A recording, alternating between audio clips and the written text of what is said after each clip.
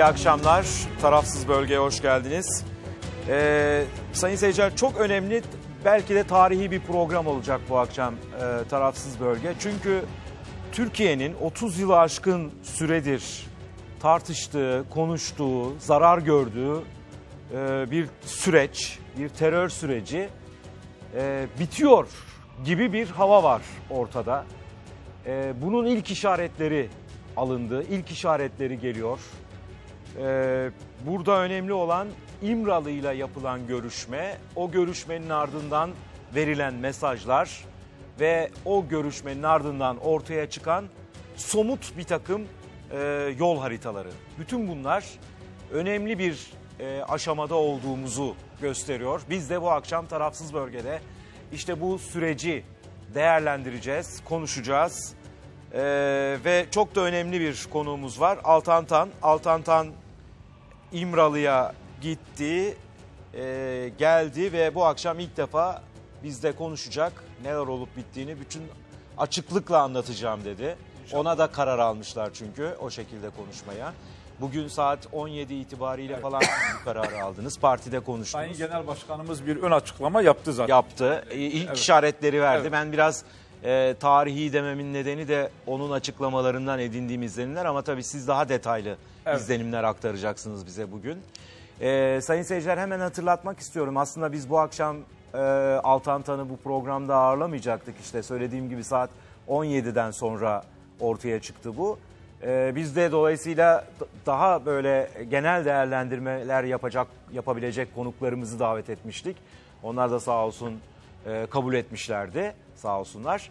E, ama böyle Altantan'ın gelmesiyle birlikte programın formatını biraz daha değiştireceğiz. Çok değerli konuklarımızdan e, Altantan'a soru sormalarını isteyeceğiz. Çünkü o görüşmenin niteliği, kapsamı, çerçevesi çok önemli.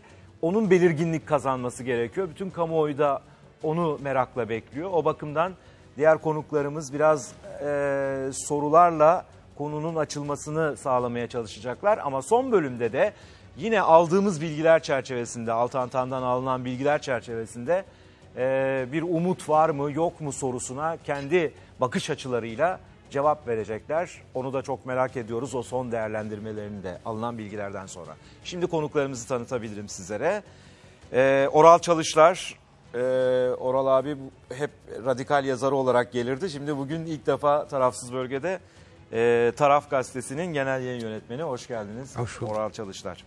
Ee, Emre Uslu bizlerle. Emre Uslu geçen seferde e, bizimle birlikteydi yine bu sürecin tartışıldığı programda. E, bilhassa kendisini burada olmasını arzu ettik. Çünkü Altantan'ın anlattıklarıyla birlikte belki görüşlerinde bir değişiklik olacak mı olmayacak mı onu Umarım. merak ediyorum. Profesör Gençay Gürsoy bu soruna e, duyarlı ve takip eden bir isimdir. Hoş geldiniz Gençay Gürsoy. Merhaba. Merhaba. Ve e, Vahap Coşkun e, bizlerle. Vahap Bey siz de hoş geldiniz. bulduk. Ankara stüdyomuzda da Abdurrahman Kurt var. E, AK Parti'nin eski Diyarbakır milletvekili. Hoş geldiniz Abdurrahman Bey. Merhabalar. Hoş bulduk. İyi yayınlar. Bütün konuklarımıza selamlar. Tarafsız bölge kısa bir aradan sonra başlıyor.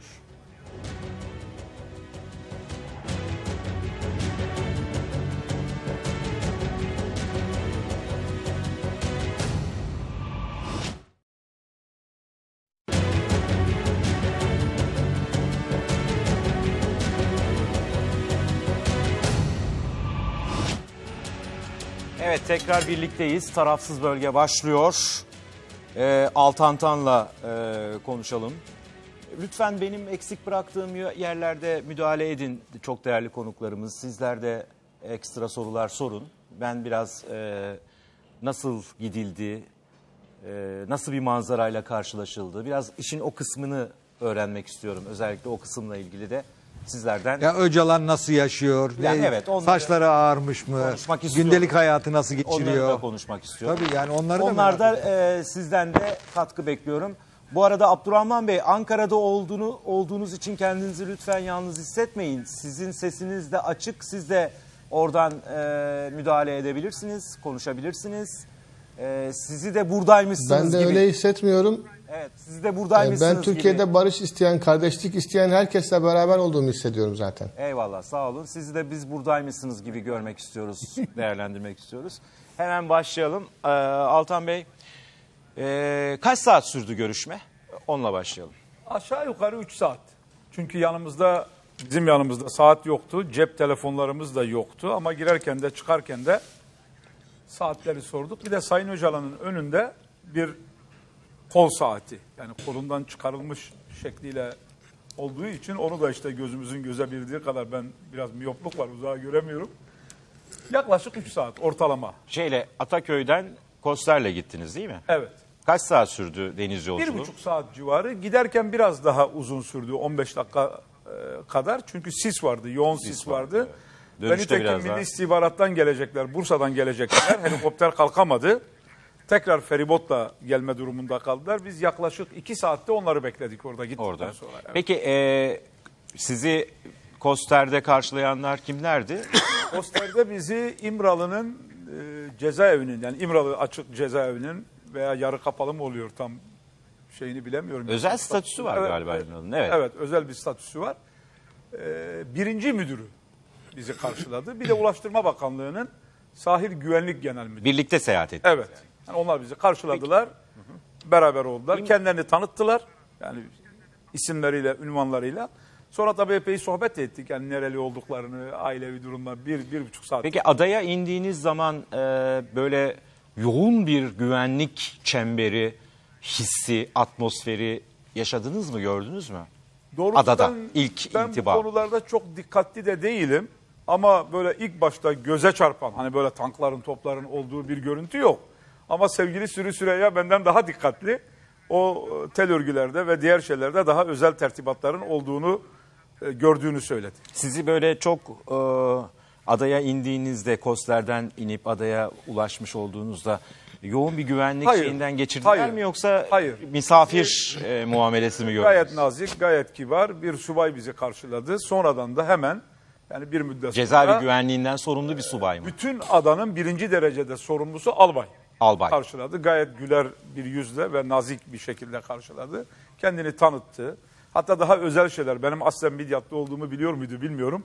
Benim oğlum Midyat'ta doğdu. İşte ben Midyatlıyım, Mardinliyim diyor hala falan şeklinde. Orada Biraz görev sıcak- yaparken herhalde. Evet 1996-98 yılları arasında işte orada doğduğunu söyledi. Sıcak bir karşılama oldu. Sonra sizi nereye aldılar? Sonra bizi bir misafir odası gibi yani mütevazi bir salon ama televizyonun koltuklarının olduğu bir yere aldılar. Daha sonra Bursa'dan gelenler gecikince biz yemeği ayrı yedik. Ve o işte normal Yani karavana yemeği. Sizin Abdullah Öcalan'la görüşmenizin başlayabilmesi için MIT görevlilerinin gelmesi mi beklendi? Bize öyle söylendi. Bize söyleneni söylüyorum. Siz Ama- o zamana kadar Abdullah Öcalan'la temas Hayır, kurmadınız bir hayır, süre yani. Hayır yemek Yemek yediniz. Yemek yedik işte namaz kıldık neyse o şeyler aradaki şeyler. Ee, yemekte normal karavana yani herkese çıkan neyse tabii bunu da şey etmeye gerek yok çok çok detay şeyler ama kuru fasulye, pilav, yoğurt ve salatadan oluşan mütevazi. Cezaevi menüsü yani. Evet ama benle Sırrı Süreyya ikişer porsiyon yedik. Öyle mi? gitti, Evet. Öcalan'ın yediği yemek yani. Veya Öyle oradaki- dediler. Evet öyle dedi. Yani herkesin bütün askerlere de çıkan yemek. Herkese çıkan Evet. yemek. Anladım. Öyle söyledi. Bey, kayıt cihazı falan da mı araması yapılmadı? Üstünüz falan aranmadı mı? Bizim üzerimiz aranmadı. Bir güvenlik şeyinden geçtik. Yani X-ray cihazından geçtik ama böyle bir üst araması şeklinde hani ince arama dediğimiz bir aramadan geçmedik. Arama yapılmadı. Hayır. Yani kayıt cihazı götürmüş olsaydınız Götürebilirdik belki aklımıza gelmedi. Çünkü bu işlerde güven önemli, samimiyet önemli. Yani bir sefer götür. ha, ona bir engel var mı? Hayır, Yasak hayır. var mı yok? Bize yasak olup olmadığı Not konusunda tutmak bir mümkün şey... olduğuna Ama göre diyor kayıt ki cihazını iyi da- dediniz cep telefonları bıraktık dediniz. Cep telefonlarını biz gitmeden Bırakın mı dediler? yok kendimiz şeyde bıraktık. İstanbul'da. Ee, İstanbul'da Ha, bıraktık. sizden öyle bir talep olmadı. Ama gitseydik de sanırım alınırdı. Çünkü cep telefonlarınız varsa bırakın şeklinde bir şey oldu. Onun ötesinde bir üst arama, bir şey falan vesaire olmadı. Devam edelim mi? Peki. Evet. Ee, ondan sonra yemekten sonra nasıl bir e, da bir süre daha beklediniz mi? İşte aşağı yukarı adaya biz e, 9.30 11 11 çeyrek gibi indik. İkiye çeyrek kala e, bizi Sayın Öcalan'ın bulunduğu odaya aldılar. Ee, yani siz e, Yani yaklaşık 2 saat falan civarı. 2 saat cezaevi içerisinde bayağı o konuk odasına uzak bir yere mi geçtiniz? Yok. Çok uzak bir yer değildi. Aynı bina içerisindeydi. Odada nasıl bir manzara vardı içeri girdiğinizde? O da mütevazi bir oda. Ben inşaat mühendisiyim. Yaklaşık 20 metrekarelik. Yani 20 metre. Ama Öcalan'ın hücresi değil. Hayır değil. Değil. Normal küçük bir Ya masa. onu da onu da bulunduğu yerden alıp oraya getirdiler. tabii, tabii. Ama ne Sizden kadar önce. mesafeden alıp getirdiler Onu bilmiyoruz bilemiyoruz. onu. Sizden önce zaten Bizden geldi. önce biz odaya girdiğimiz vakit Milli İstihbarat sorumlusu ve Sayın Öcalan gelmişlerdi. Ee, bir bir küçük masa, mütevazi bir masa. Biz dördümüz oturduk. Sırrı Süreyya e, karşısına, ben yanına, Pervin Hanım da öbür yanına. Milli Oturdular. İstihbarat Teşkilatı'ndan gelen e, görevli nerede oturuyor? O da benim hemen arkamda. Yani şöyle bir yarım metre veya e, işte daha şey bir metre diyelim. Not mu tutuyordu? Evet, o da bir bir küçük masada. Sizin konuşmalarınıza hiç müdahale etti mi? Hemen hemen hayır. Peki iki kişi bekledik dediniz. Sonra bir kişi içeride var dediniz. Bir kişi geldi. Yani kişi öbür geldi. ikinci kişi geldi mi, gelmedi mi, orada mıydı bilmiyoruz. Ama bizim Siz orada izleme, izleyen bir MİT görevlisi bir vardı. kişi. Tabii ünvanını bilmiyoruz, ismini bilmiyoruz. Öyle bir bir takdim olmadı. Mesela biz bota bindiğimiz zaman cezaevi müdürü ve güvenlik müdürü, sahil güvenlik onlar kendilerini takdim ettiler isimleriyle ve sonra işte memleketleriyle vesaire. Peki MİT görevlisi olduğunu nereden biliyorsunuz? Öyle söylendi bize. Biz biz orada beklerken öyle söylendi. MİT, MİT görevlisi oraya tam olarak kaçta geldi? Yani sizden önce Öcalan'la ne Bilmiyorum. kadar görüştü onu biliyor musunuz? Bilmiyoruz. Hayır. Peki Altan Bey, e, Öcalan'la ilgili ilk intibanız nedir? Yani size e, sizi ilk gördüğünde heyeti, yani sizi ve diğer iki arkadaşınızı Sırrı Süreyya Önder ve e, Bizi Ervin Buldan'ı gördüğünde ve çok nazikçe karşıladı. Yani görüşme süresince de hepimize sayın diye hitap etti. Sayın Tan, Tabii Sayın, sayın, Önder. Tan, bazen Sayın Altan, Sayın Sırrı yani bu bu şekilde gayet samimi ve nazik bir bir şekilde yorgun ve yaşlanmış mı görünüyordu? E biraz saçları beyazlamış. Yani genel olarak kendisini iyi gördük, zinde gördük. Bir de göz rahatsızlığı devam ediyor. Yani hafif göz yaşı da sağ gözünden geliyor. O çok uzunca bir dönemde. Çok eski. Ben Çok Beka'ya eski. gittiğimde Evet, o zaman BK'ya gittiğinizde de o, herhalde. o zaman şikayet ediyordu Evet. gözlerinden okuyamıyorum diye. Bir hediye dediğim 20 götürdünüz mü? Hediye e, Pervin Hanım bir kalem ve bir tesbih. Yani mütevazi şeyler. Ama onları bizzat e, vermemize izin vermediler. Aldılar çok nazik bir şekilde girerken biz takdim ede söyledik kendisine. Bir de e, sevgili Sırrı Süreyya işte bizim ortak bu e, anayasa çalışmalarımızla ilgili iki kitap. Onları da mı daha sonra Evet aynı şekilde. vermek üzere Aynı aldılar? şekilde. Evet. Peki buraya kadar e, yeterli buluyorum ben. Bundan sonra artık esasa geçebiliriz, görüşmeye geçebiliriz. E, şimdi bun, sayın seyirciler bundan sonraki e, programın gelişen sürecinde e, Altan Tan daha doğrusu 3 milletvekiliyle Abdullah Öcalan arasında nasıl bir konuşma geçti? Bunu anlamaya çalışacağız, bunu öğrenmeye çalışacağız. Şimdi belki öncesinde şeyi sorabiliriz. Bu bağlamda hani buna geçmeden bir şey söyleyeceksiniz. Evet. Yani bu e, isimler önemli bir kriz meselesi haline gelmişti. E, kimlerin gidip kimlerin gitmeyeceği konusunda. Bu üç ismin belirlenmesinde nasıl bir yol veya yöntem izlendiği konusunda bir intiba edindiniz mi? Siz, e, Öcalan tarafından mı belirlendi bu isimler yoksa hükümet tarafından mı yoksa ortak olarak mı belirlendi? Şimdi tabii bu konuda çok spekülasyon Evet. yapıldı. Partinin illa bu isim olsun diye bir dayatması yoktu. Söylediği ne partimizin? Genel başkan bunu defalarca izah Eş başkanlar gitsin dediniz sürekli. Şöyle dedi. Kurumsal olarak muhatap olmak istiyoruz. Yani bugün Ali gelsin, yarın Veli gelsin, öbür gün Ayşe gelsin, öbür gün Fatma gelsin. Böyle bir diyalog, böyle bir müzakere yürümez. Eğer yürüyecekse bir müzakere bunu partimizin yetkili organlarının belirle, belirlemesi lazım. Çünkü Sizi partinizin yetkili organları mı belirledi? Şöyle oldu. Partimiz işte en son zaten e, ilan edildi bunun bir şeyi yok. Sayın Selahattin Demirtaş, Pervin Buldan ve Ahmet Türk'ün isimleri verildi. Fakat orada bir direnç oldu hükümette. Ondan sonra işte Sayın Mehmet Öcalan'ın gitmesinden sonra Sayın Öcalan'ın ben eş başkanlarla görüşmek istiyorum. Çünkü temsiliyet olarak, etkili olarak doğrusu da budur. Bir partinin yani BDP'nin ve DTK'nın eş başkanları hepimizden daha yetkilidir. Yani Abdullah Öcalan aslında eş Daha da- başkanlarla görüşmek tabii, istiyor. daha da etkilidir. Yani doğal olarak. Çünkü kitlenin ağzına baktığı insanlar bu insanlardır. Ama eğer bunlarda bir sorun olacaksa, varsa bunu da bir direnç meselesi yapmayalım. O zaman İşte Pervin Buldan, Sırrı Süreyya Önder, Altantan gelsin. Bunlar da gelmezse ben başkasıyla görüşmüyorum. Bize söylenilen bu. Anladım. O zaman Öcalan sizin isimleriniz. Öyle söylendi bize. Anladım. Parti de tabii bunu e, makul karşıladı. Anladım. Çünkü Yani- neticede Hükümetin herhalde yemek, hiçbir şekilde değil. itiraz etmeyeceği isimler olmasına Öcalan özen göstermiş. Yani e, E tabii onun, herhangi bir onun yorumunu sıkıntı, size evet. bırakıyorum. Yani, bunun yorumunu benim yapmam. Anaya- Kompozisyondan öyle anlaşılıyor. üye olmanız Evet. etken oldu mu bunda ya da sizin daha muhafazakar Sırrı Süreyya Önder'in sol e, ve Pervin Buldan'ın da kadınları temsil etmesinde böyle bir geleneksel tercih. Kürt Şimdi tabanı. tabii Bu konuda ki- yorum yapma yapma durumu Altan Tan'da Tabii değil. ki yani. bazı tercihler ve tespitler yapılırken bir şeylere göre yapılır. Ama bunları benim söylemem doğru olmaz veya ben bunları söyleme durumunda Peki. değilim. Peki. Çünkü Tabii, tabii. o tercihi yapan kişinin neye göre tercih yaptı? Altan Bey o zaman tamam şeye geçelim hemen. Görüşmeler. Görüşmeye. Evet. İlk e, kim konuştu ve hangi mevzudan girildi? Yani konuşmaya Şimdi nasıl öncelikle girildiniz? bir yöntem belirleyelim dedi. Nasıl, yani nereden dediğiniz gibi. Biz de dedik ki efendim siz nasıl uygun görüyorsanız öyle bir yöntem üzerinde devam edelim. Ondan sonra e, uzunca bir bir müddet bir dönem değerlendirmesi. Yani Türkiye'nin işte geçmişi, dünü, bugünü, yarını, Orta Doğu. Yani bir tarihsel süreç mi yoksa son Tarihsel dönem mi? süreçte, aktüel süreçte. Yani neler oldu, neler oluyor, neler olabilir, müspet ve menfisiyle. Ondan sonra da mevzuya girdik. Altan Bey size bir şey soracağım. Siz e, biraz olaylara dışarıdan bakan ve objektif Evet. değerlendirme yapabilen birisiniz. Abdullah Öcalan'ın Türkiye, dünya, Orta Doğu üzerine yaptığı bu ilk analiz, ilk değerlendirme e, size böyle etkileyici bir değerlendirme gibi geldi mi yoksa yani çok da böyle beni çok etkiledi diyebileceğiniz bir Şimdi değerlendirme çok değil? sürrealist ve ayakları havada bir değerlendirme değil. Yani bunu bütün samimiyetimle söylüyorum. Gayet realist ve hemen hemen tamamına katılabileceğim analizler yaptı. Vakıf Vakıf.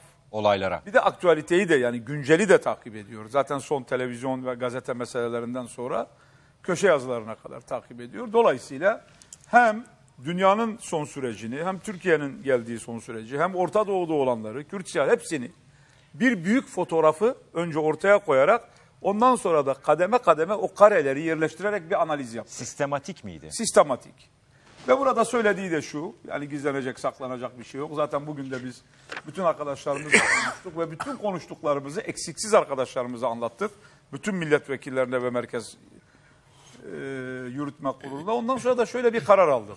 Yani tabii ki bu tip müzakerelerde çok detay, çok ayrıntı bazı şeyler kamuoyundan bir müddet için gizlenme demeyelim de söylenmeyebilir. Ama biz bu süreçte mümkün olduğu kadar şeffaf, mümkün olduğu kadar genel hatlarıyla açık ve doğru bir yöntem izleyelim dedik. Evet. Genel başkanımız da bugün zaten böyle bir açıklama yaptı. Mektup bahsine falan da geleceğiz. Konuşacağız. E, Hepsini Şeyi, söyledik. e, Dolayısıyla şu şeyi bu analizin çerçevesi şu. Ha, evet hemen oraya anlat. geleceğim.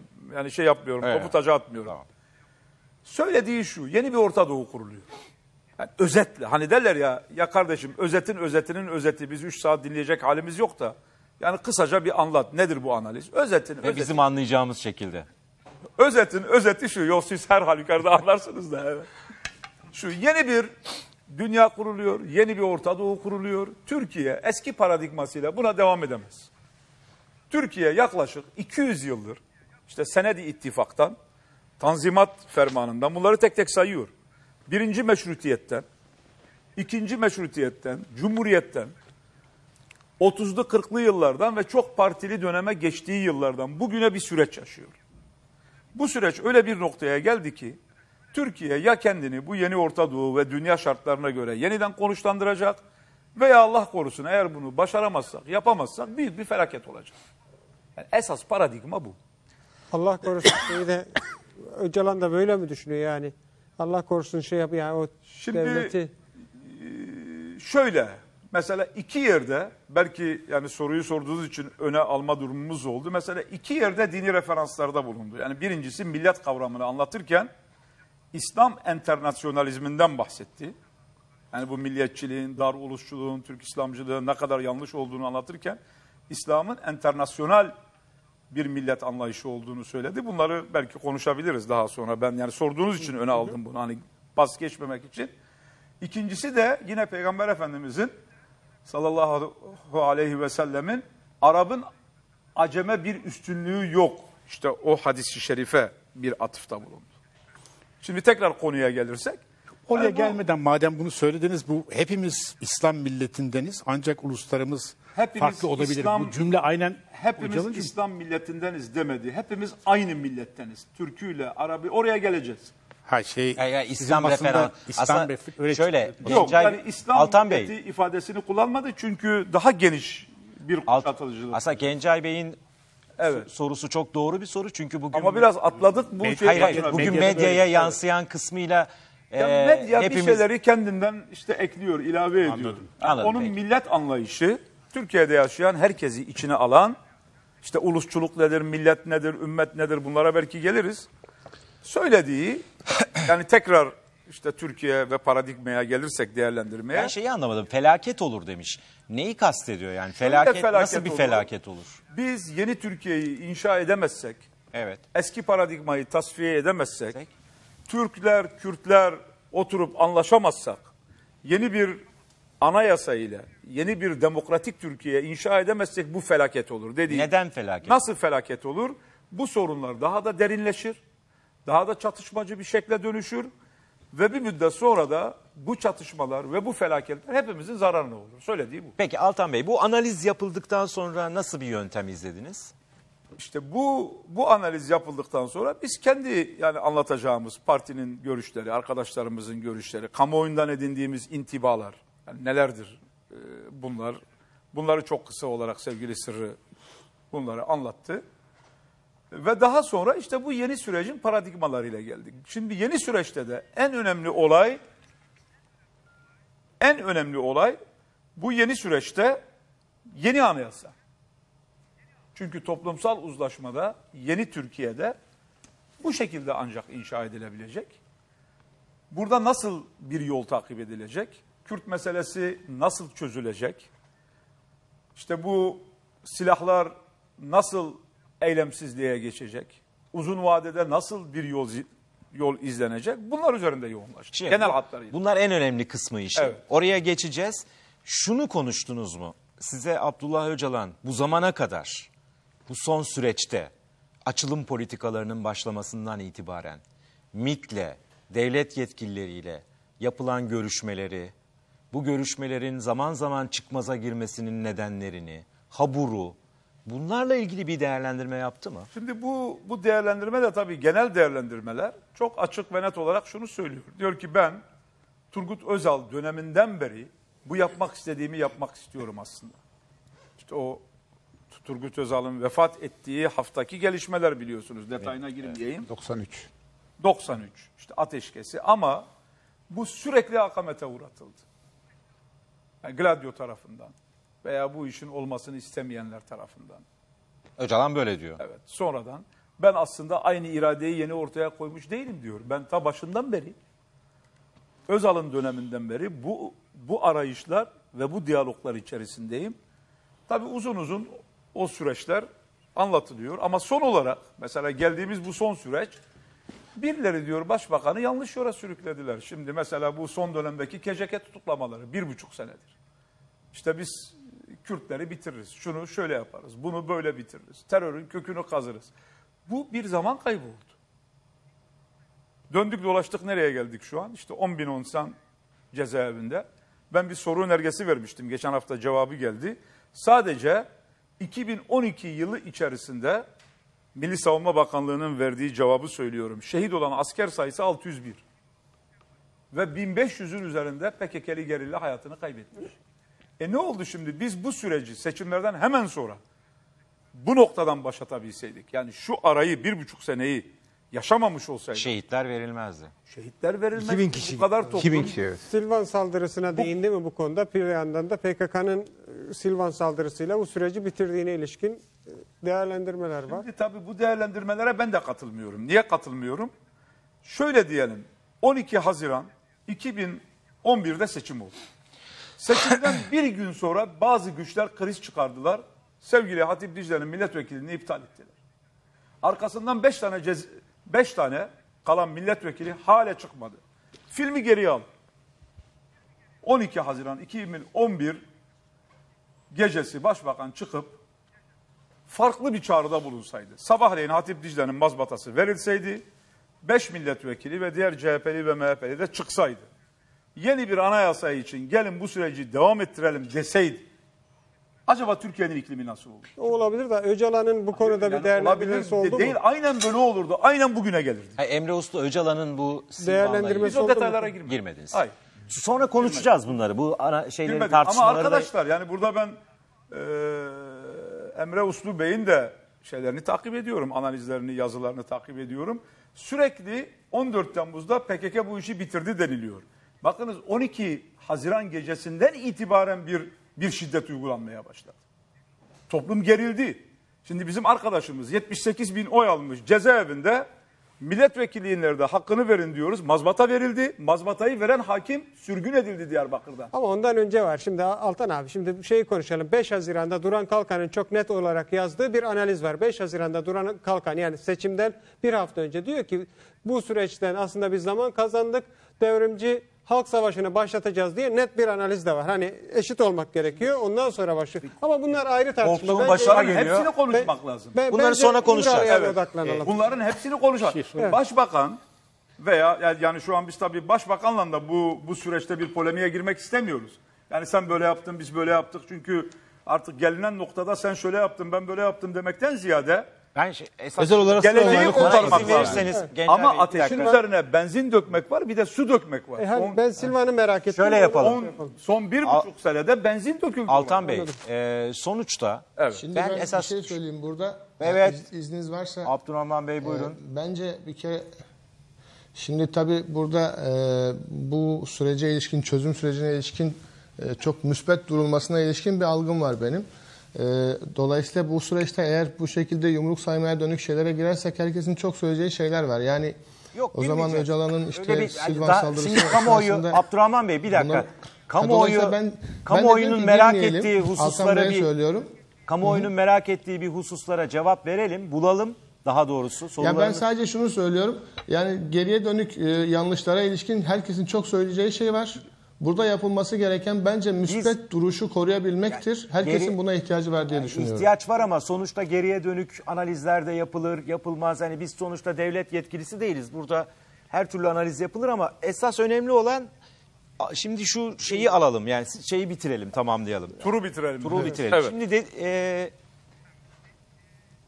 bu son süreçte yani bugün gelinen şu son noktada Öcalan e, tamam işte bu KCK tutuklamaları şunlar bunlar son bir buçuk yılda yalpalandı, bocalanıldı ama şu son süreç gayet iyi. Şimdi bir kararlılık görüyorum mu diyor yoksa yine tedirgin, kaygılı bir tutum içinde mi? Ben devam edeyim mi? Soru Lütfen. sen- sen- Evet, Şimdi bugün eş başkan Selahattin Demirtaş 2-3 hafta içinde Öcalan bunu e, söyleyecek ne yapılacağına ilişkin diye bir açıklama yaptı değil mi?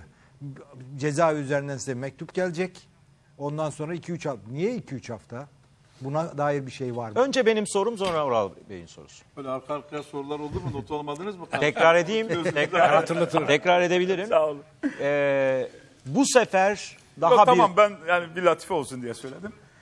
Şimdi bu sefer kararlı.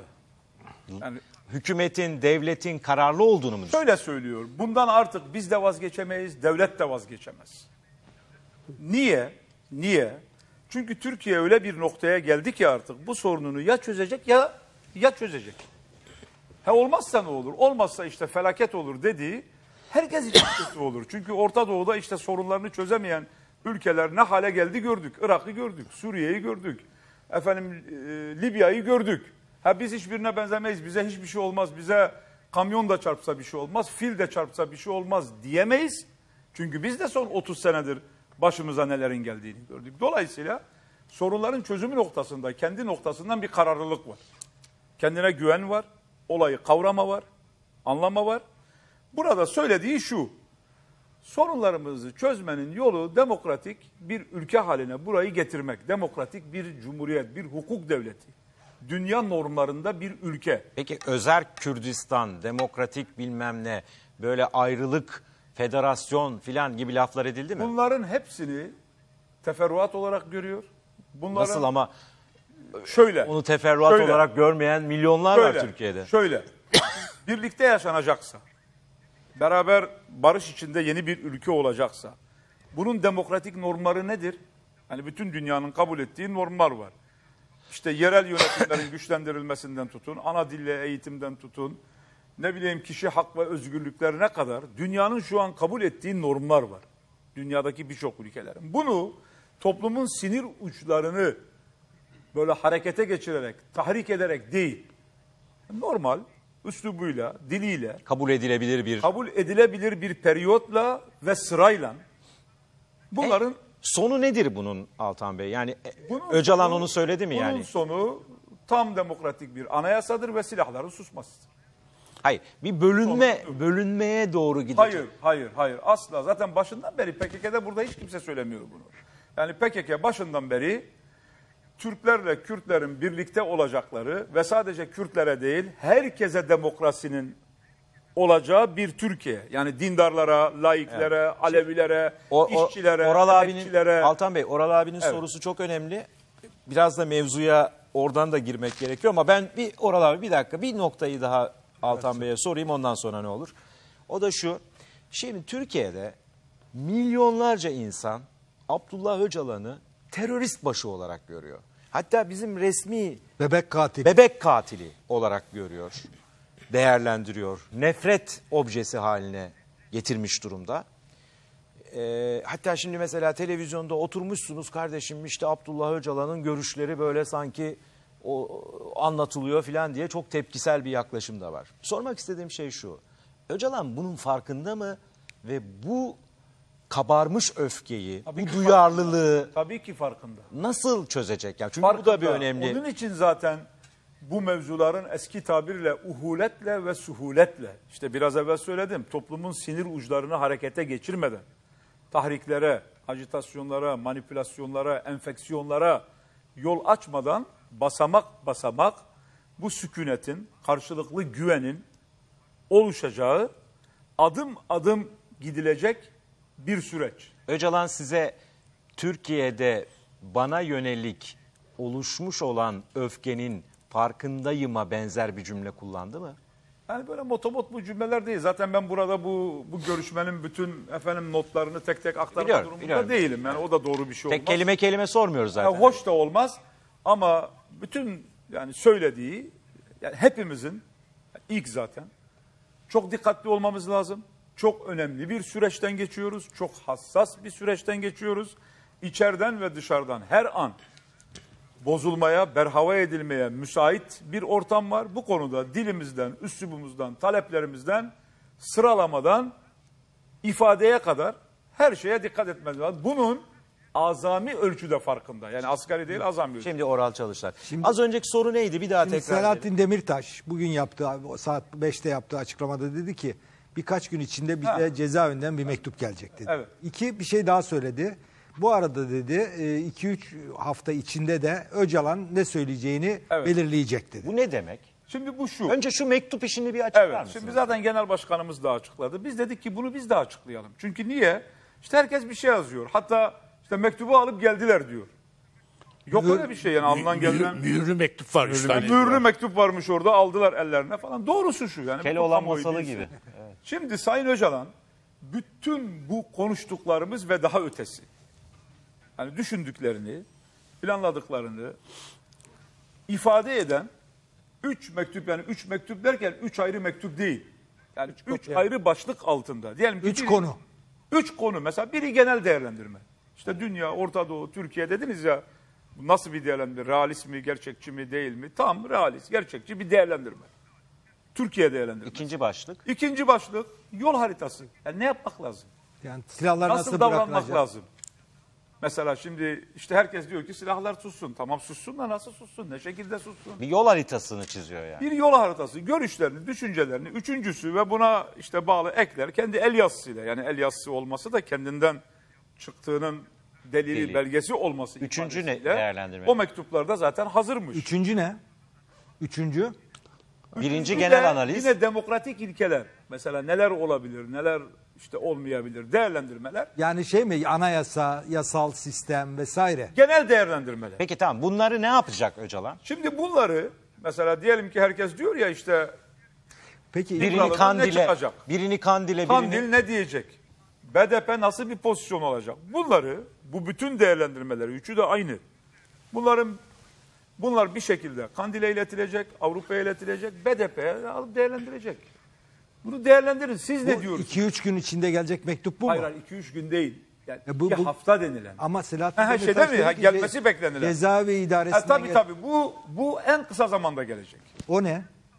İşte bu anlattı. Bu bu anlattığım Ha, mektuplar. Yani bu 2-3 haftalıkla yeni gelecek bunlar ayrı ayrı şeyler değil. Şöyle bu bu mektuplar gelecek. Bu bir dayatma değil, bu bir manifesto değil, bu bir zorlama değil, bu nihai bir şey değil. Ben böyle düşünüyorum. Yani bir dakika. Siz ne diyorsunuz? Abdullah Öcalan bu konularla ilgili kişisel olarak ne düşündüğünü Düşüncelerini aktaracak. Kandil'e, BDP'ye, Evet. Avrupa'ya. Aynı şeyler. Anladım. Yani bunlar gizli saklı da değil. Aktaracak sizden de şey bekleyecek. Bizden de siz ne diyorsunuz? Ne diyorsunuz? bunlara? Şimdi tamam bu Eleştiriniz var mı? Oral Çalışlar'ın sorduğu şey şu. Peki Demirtaş'ın 2-3 hafta sonra İşte onu açıklayacak anlatacağım. dediği şey ne? Onu anlatacağım. haritası.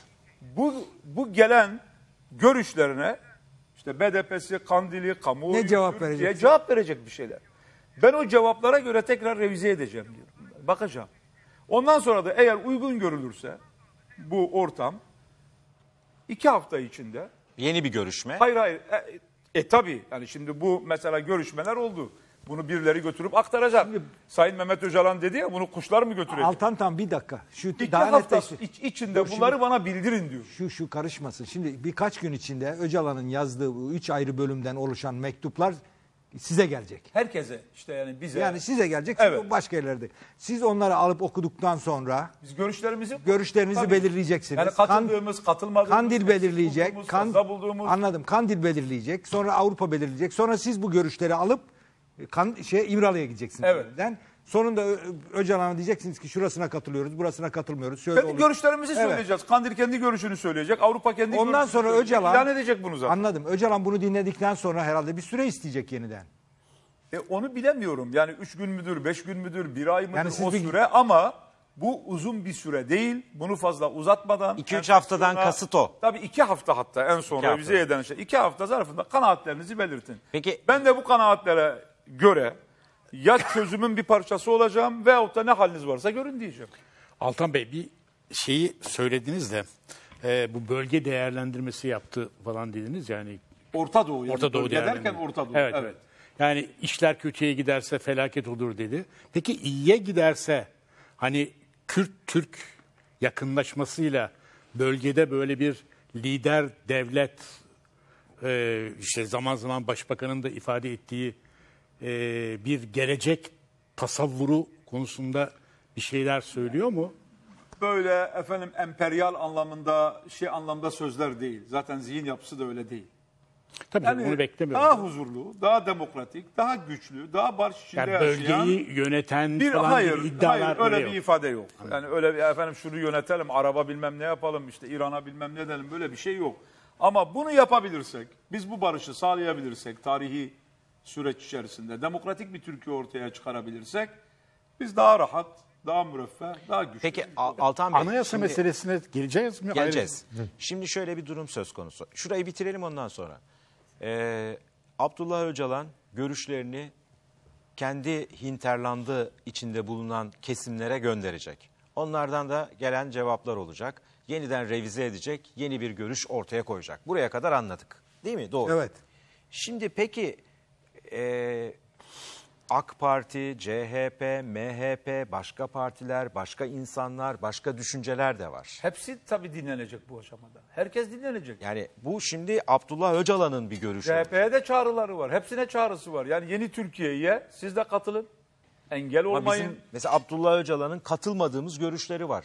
Ne yapacağız? Yani Abdullah Öcalan ya bunları kabul edeceksiniz ya da e, bu terör böyle devam eder diyor Hayır, mi diyor. hayır, yani ne diyor yani? Ben şimdi görüşlerini kendi toplumumun görüşlerini söylüyor. Diyor ki ben bu barış için, bu demokratikleşme için, bu ateşin sönmesi için bir rol üstlenmek istiyorum. Benim düşüncelerim, görüşlerim bunlar. İşte onların ne olduğunu detaylarıyla biz Çıkacak. de Evet. Şu an için genel hatlarıyla biliyoruz, detaylarıyla bilmiyoruz. Onlar gelecek. İşte bu, bu kamuoyunun merak ettiği yol haritasıdır. Efendim işte eylemsizlik nasıl olur, çekilme ne olur, yeni anayasadan beklentiler nedir vesaire vesaire vesaire. Buradan da görüşler gitti. BDP'den gitti, Kandil'den gitti, Avrupa'dan gitti, CHP'den gitti, MHP'den gitti. Yazarlar, aydınlar bunları okuyor, takip ediyor zaten. Ondan sonra eğer yeterince bir destek görürse bir rol oynarım diyor. Ha bunu yapamazsam ondan sonra ne yapıyorsanız yapın diyor. Yani bir görüş dayatması yok. Hayır. Hayır Onu anlamaya kesinlikle bunun altını çizerek diyor 3-4 sefer. Bu bir dayatma değil. Bu bir efendim şey değil. Yani mesela kabul edilemez bir yol haritası ortaya koyarsa ne yapacağız biz yani? Onu kabul mü edeceğiz terör bitsin diye? Zaten kabul edilmez bir şey olursa kabul edilmez zaten. Burada medyada söylenildiği gibi bu üç mektupta daha netleştirmek için söylüyorum. Bu üç mektupta gelecek üç mektupta Kandil'e bir ateşkes çağrısı olmayacak. Bu üç mektupta gelecekte. Ee, sınır dışına çekilin diye bir çağrı olmayacak. Sadece bunlardan görüşleri isteyecek. Bunlar görüşlerini yaptıktan sonra belki böyle bir çağrı olacak. Öyle mi? Doğru mu anlıyorum? Yok doğru anlamıyorsunuz çünkü ne olduğunu bilmiyoruz mektuplarda. Bize mektuplar dediğim gibi o maddeler okunmadı. Madem öyle Söylenmedi o zaman ama eğer bu bu genel perspektifte bir anlaşma olursa yani anlaşmadan kastettiğim makul demokratik bir ülkenin meydana gelmesi için bir süreç ise tabii ki bu basamak basamak Yok, Peki, ilk Altan Bey. mektuptan söz ediyorum. İlk mektup. E, bir dakika bir şu mektup değil. Üçü zaten yani üç Şö- şöyle yapalım. Mektuplardan- ayrı değerlendirme bunlar beraber gelecek. Altan Bey Yani mektuplardan birinci mektup, ikinci mektup, üçüncü mektup yok. Burada da bir karışıklık oldu. hiç önemli değil. Mektuplardan çıkartarak sorayım. Daha da Çünkü herkes merak ediyor. Evet. Diyorlar ki kardeşim bu ateşkesin başlaması için Öcalan'ın kafasında bir takvim var mı? Yani e, ateşkes, sınır dışına çıkma böyle bir şey konuştunuz mu? Yani size e, şu tarihte Bizim üzerinde yoğunlaştığımız, şimdi zaten Türkiye'de şöyle bir zihniyet farklılığı var. Yani sanırım e, işte Emre Uslu'yla da bazı noktalarda anlaşamamamızın sebebi bu. Türkiye'de bazı zihinler PKK'yı bitirelim, Kürt sorununu bekletelim. İlgisi yok. Kürt sorunu çözelim. PKK zaten başka sorun diyorum ben. Şimdi ikinci çözüm yolu Kürt meselesini ve Türkiye'nin demokratikleşmesini hatta şimdi Türkiye'nin bütün demokratikleşmesi konuşulmadan ben Kürt sorununu çözeyim işte boş yer Aleviler kalsın, emekçiler kalsın, başörtüsü kalsın, efendim Kur'an kursları kalsın, tekke, tarikat, zaviye, cemevi bunların hiçbirisine dokunmayayım. Mümkün mü? Türkiye topyekun demokratikleşecek. Türkiye topyekun demokratikleşirken herkese demokrasi verilirken Kürtler de hissesini alacak. Kürtler hissesini alırsa da Hakan zaten Bey, bu silahlı şeyi çok- kademe kademe bitecek. Hayır haklısınız ama sonuçta elinde silah bulunduran bir güç var. Evet. Ve o güç Türkiye topraklarının içerisinde bu sorunu yakıcı hale getiren de işin bu noktası. Evet. Şimdi kamuoyu da haklı olarak en yakıcı kısmının ne zaman biteceğini merak ediyor. Yani yoksa bize ne PKK yani PKK değil önemli olan. Yarın öbür gün bir karakola baskın olacak, yine şehitler olacak, yine e, bundan endişe ediyor insanlar yani. Endişe ettikleri şey bu.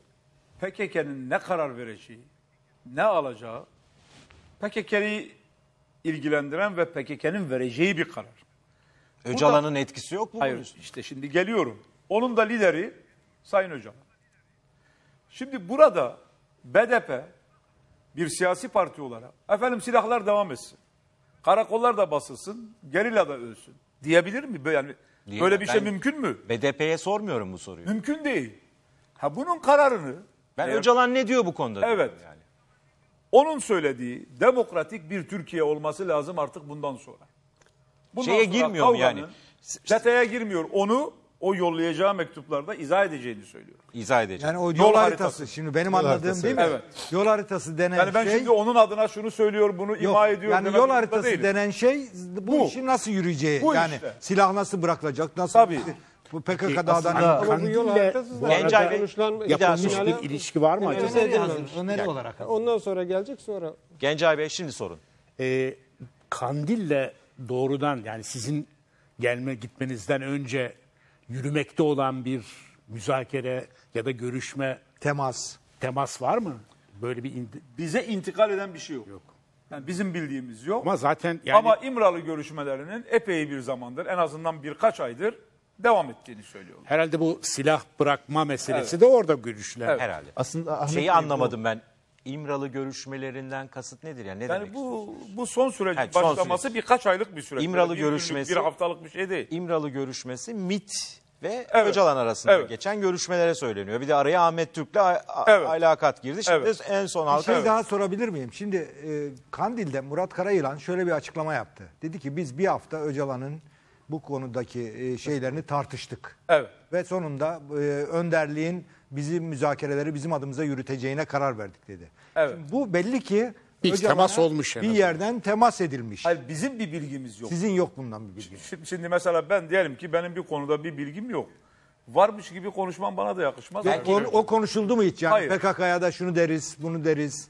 Hayır, bunlar gidecek denildi zaten. Altan orada Bey. Milli İstihbarat sorumlusu da orada. Altan Bey, Bu şöyle- görüşler şeye gidecek Kandil'e. Bu, bu son süreç. Ama bundan evvel Nasıl gitti? gitti. direkt bir temas var mı? Yok mu? Bu, bu bilmiyorum, konuda benim bilgim yok. Altan Bey, e, bu zamana kadar hep şöyle bir e, endişe vardı. Yani Kandil tarafının, Öcalan'ın koşulları ortada. Biz onun fikirlerini özgürce ortaya koyabildiği bir e, durum içerisinde olmadığını düşünüyoruz filan gibi değerlendirmeler yapılırdı. Şimdi bu göndereceği son o üç mektup ve orada ortaya koyacağı yol haritası Öcalan'ın özgürce kendi verdiği kararlar doğrultusunda kaleme aldığı bir metin olarak algılanacak mı Kandil tarafından? Algılanmalı mı? Sizin intibanız nedir? E, bence algılanmalı. Yani bana sorarsanız algılanmalı ama bunun kararını verecek olan Kandil. Karayılan'ın son yaptığı açıklama da aslında bu tür algılanacağına dair bir emare içeriyor. Onu söylemek lazım. Yani Oral abinin hatırlattığı açıklama. Evet. Evet. Ee, şeyi söyleyeyim aslında bu Öcalan'ın 3 mektubu yeni bir şey değil. Yani daha önce de Öcalan e, bir yol haritası hazırlamıştı ve 3 aşamalı bir yol harit- yol haritasıydı bu. Ama Birinci- epey geride kaldı. E, onu söyleyeceğim. Yani iki sene geride tabii, kaldı. Tabii. o. Onu söyleyeceğim. Bu yeni bir durum. Yeni bir, Yeni durum. bir durum. Bu yeni durumda temel e, perspektifi aynı fakat bu perspektif içerisindeki bazı durumları revize etmiş olabilir. Mesela e, üç aşamaydı. Bir önce bir e, müzakere edilebilmesi için gerekli koşulların yaratılması, ikincisi anayasal düzeyde yapılması gerekenler ve üçüncüsü de demokratik bir barışın olması için yani silahlara vedanın gerçekleşmesi için gerekli koşullar. Zaten bu Öcalan'ın daha önceki de yol haritasıydı. Şimdi herhalde yeni bir durumu ifade edecek olan husus bu anayasal düzenlemelerde neler olacağına dair eğer Öcalan görüşlerini değiştirmişse bu görüşlerin neler olacağı. Şimdi hemen oraya geçelim. Anayasa konuşalım biraz. Evet. O konuda bir şey söyledi mi? Yani nasıl bir anayasa? E, Anayasa tabii çok önemli. Çünkü bütün bu konuştuklarımızın nihai gelip işte Dayanacağı dolaşıp nokta dayanacağı nokta anayasa. Eğer Türkiye doğru düzgün bir anayasa yapabilirse zaten bu sorunların çoğu çözülecek. Şimdi doğru düzgün anayasa ne? Yani bana göre mi, size göre mi, CHP'ye göre mi, MHP'ye göre mi? Bunun da altı çiziliyor. Hepimize göre olması lazım. Hepimize göre bir ama hepimizde de buna katılmayanlar var. Mesela bir MHP'de, CHP'de ciddi muhalefet var. Hala vatandaşlık tanımında bile bir ittifak yok. Israrla Türk ıtlak olunur diyor. Orada dayatıyor. Şimdi evrensel kriterler var. Evrensel kriterler ne? Onu söylüyor zaten işte peygamberin işte hadisini, İslam enternasyonalizmini, diğer batılı demokrasileri, Avrupa Birliği kriterlerini anlatırken, değişik değişik örnekler verirken, referanslarda bu- bulunurken evrensel kriterleri ortaya koyuyor. Evrensel kriterler neyse, bugün dünyanın kabul ettiği, gelişmiş demokrasilerin tabii, işte kalkıp da bir muz cumhuriyetinin kabul ettiği kriterler değil. Gelişmiş demokrasilerin bu konuda bu, bu sorunları çözme metodu ne ise, yani dünyada sadece bizim başımıza gelen bir iş değil. Bu Bask'ta var, Katalan'da var, İsviçre'de var, Belçika'da var bu sorun da dünyanın birçok yerinde var. Hindistan'da var, Güney Afrika'da var. Var, var, var. Rusya'da 21 tane farklı özel bölge var mesela bir Rusya'da. Güney Afrika'da 11 tane resmi dil var. Hindistan'da 16 tane resmi dil var. Makedonya'da 3 tane var. 2 milyon nüfus var. Dolayısıyla dünya, gelişmiş demokrasiler hangi kriterlerle, hangi ölçülerle bu konuları çözmüşse biz de o o kriterlerle çözeceğiz. Yoksa bana göre bir çözüm, sana göre bir çözüm söz konusu değil. Peki Altan Bey, Başkanlık sistemi lafı geçti mi? başkanlık sistemi. Şimdi başkanlık sistemi konusunda biliyorsunuz BDP'nin tavrı başından beri farklı. Hayır, Mesela- Öcalan'ın konuşmasında böyle E, bir... kısmen konuştuk tabii. Yani bunu da konuştuk. Ama şöyle yani e, BDP biliyorsunuz ilk baştan beri ben Anayasa e, Uzlaşma Komisyonu üyesiyim. CHP ve MHP baştan bunu e, kaldırdı attı. Biz şunu söyledik. binlerce sayfa tutanak var şu an Anayasa Uzlaşma Komisyonu'nda. Binlerce sayfa. Yani defalarca konuştuk biz bu mevzuyu Anayasa Uzlaşma Komisyonu'nda. Dedik ki AK Parti başkanlığın başını getiriyor, gövde yok. Baş var, gövde yok. Şimdi Sayın Başbakanı tek yetkili başkan mı yapmak bütün sorun? Yoksa bu başkanlık sistemini Olduğu gibi getir. topyekün bir sistem olarak mı getirmek lazım? Mesela, şimdi hani bu mesela dedikten sonra bunu anlatmanız lazım. Şimdi Amerika'da başkan var ama yanında senato var. Başka bir sistem var. Valileri halk seçiyor. Seçilmiş valiler var. Japonya'da Tokyo Savcıları vali, halk seçiyor. savcıları halk seçiyor. bu- Jüri var. Bu başkanlık sistemi meselesini tartışırsak konumuz çok dağılır. Hayır hayır ben sadece sordum. Öcalan ne diyor? Hani dediniz ya hiç Evet. topu taca atmayın böyle cevap verin. Öcalan ne diyor? Şunu söylüyoruz. Bir sistem olarak tartışılabilir bu. Yani böyle biz kaldırıp attık aynen bizim e, BDP'nin şu an Partinizin görüşü bu. Öcalan'ın Tabii. görüşü de benim aynı. mı? benzer. Benzer. Benzer. Sistem olarak Ya bunu konuşulabilir. sistem olarak tartışabiliriz. Mesela seçilmiş vali mi olacak, efendim jüri mi olacak, savcıları halk mı seçecek, il genel meclislerinin yetkisi ne olacak? Biz bunları biraz da mesela bilgi verdik.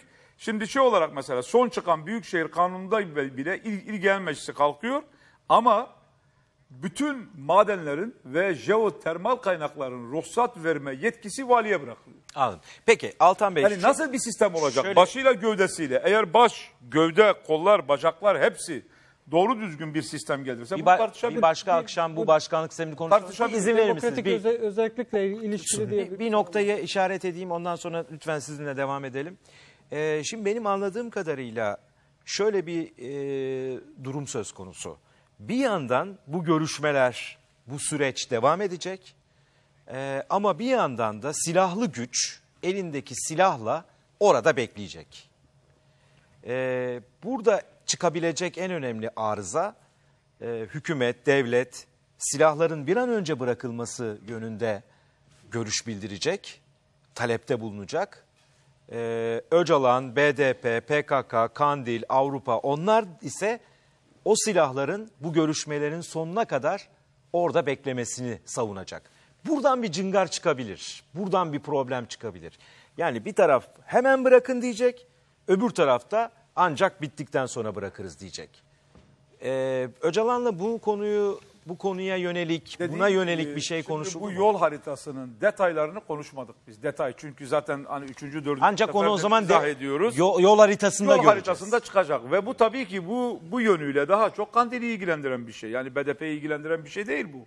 Mesela seçim barajı, siyasi partiler kanunu. Sizi ilgilendiren kısmı ilgilendiren. çok Bunları da konuşuldu. Şimdi işte dedim ya bir başı konuşuyorsunuz ama gövde yok ortada.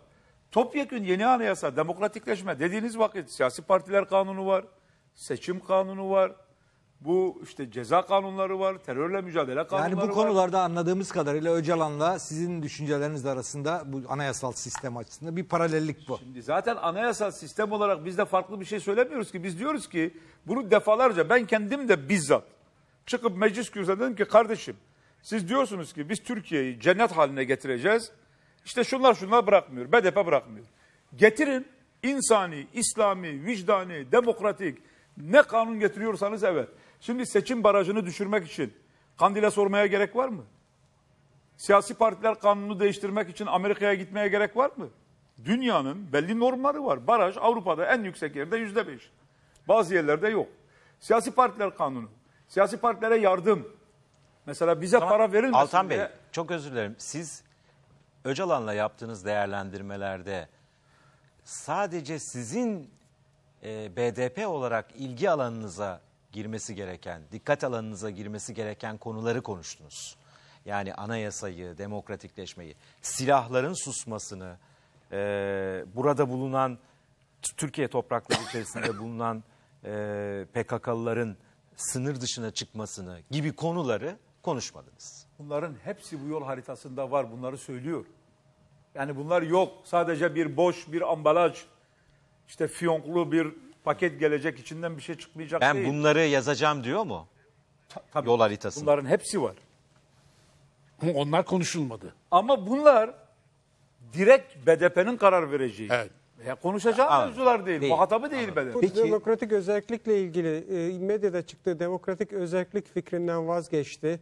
E, Avrupa'yı öz- e, yerel yönetimler şartını kabul etti şeklinde e, haberler oldu. Ona ilişkin bir şey söyledi mi demokratik özelliğe ilişkin? Şimdi bu bu konuda biliyorsunuz BDP'nin Anayasa Komisyonu'na verdiği bir teklif var. Son. Bu mevzuları konuştuk biz. Bölgesel yönetimler var. Bölge meclisleri var. İşte vesaire vesaire. Şimdi burada Türkiye'de demokratik özellik, federasyon, konfederasyon falan dediğiniz vakit toplumsal sinir uçları harekete geçiyor. İşte bunlar bir Kürdistan kuruyorlar. Aslında bunu ambalajlıyorlar. Aslında işte niyetlerini böyle yenilir yutulur bir hale getiriyorlar. Bunların niyeti bölünmek. Böyle bir paranoya var ülkede. Buna karşılık biz de bunu söylüyoruz. İmralı da aynı şeyleri söylüyor. Önemli olan bu yönetim şeklinin yetkileri, işte bu, bu büyükşehir yasasında yerel yönetimlerin güçlendirilmesi, Bölge işte, meclisleri. e, bölge meclislerinin olması ve yetkileri, işte biraz evvel verdiğim jeotermal kaynaklarla madenlerin yetkisi gibi. Bunların yetkileri, bir de işte dediğiniz o yani Türkiye'nin muhalefet şerhi koyduğu Avrupa Birliği'nin o yerel şeylerle ilgili şartı. şerhini kaldırması ve onu güçlendirmesi.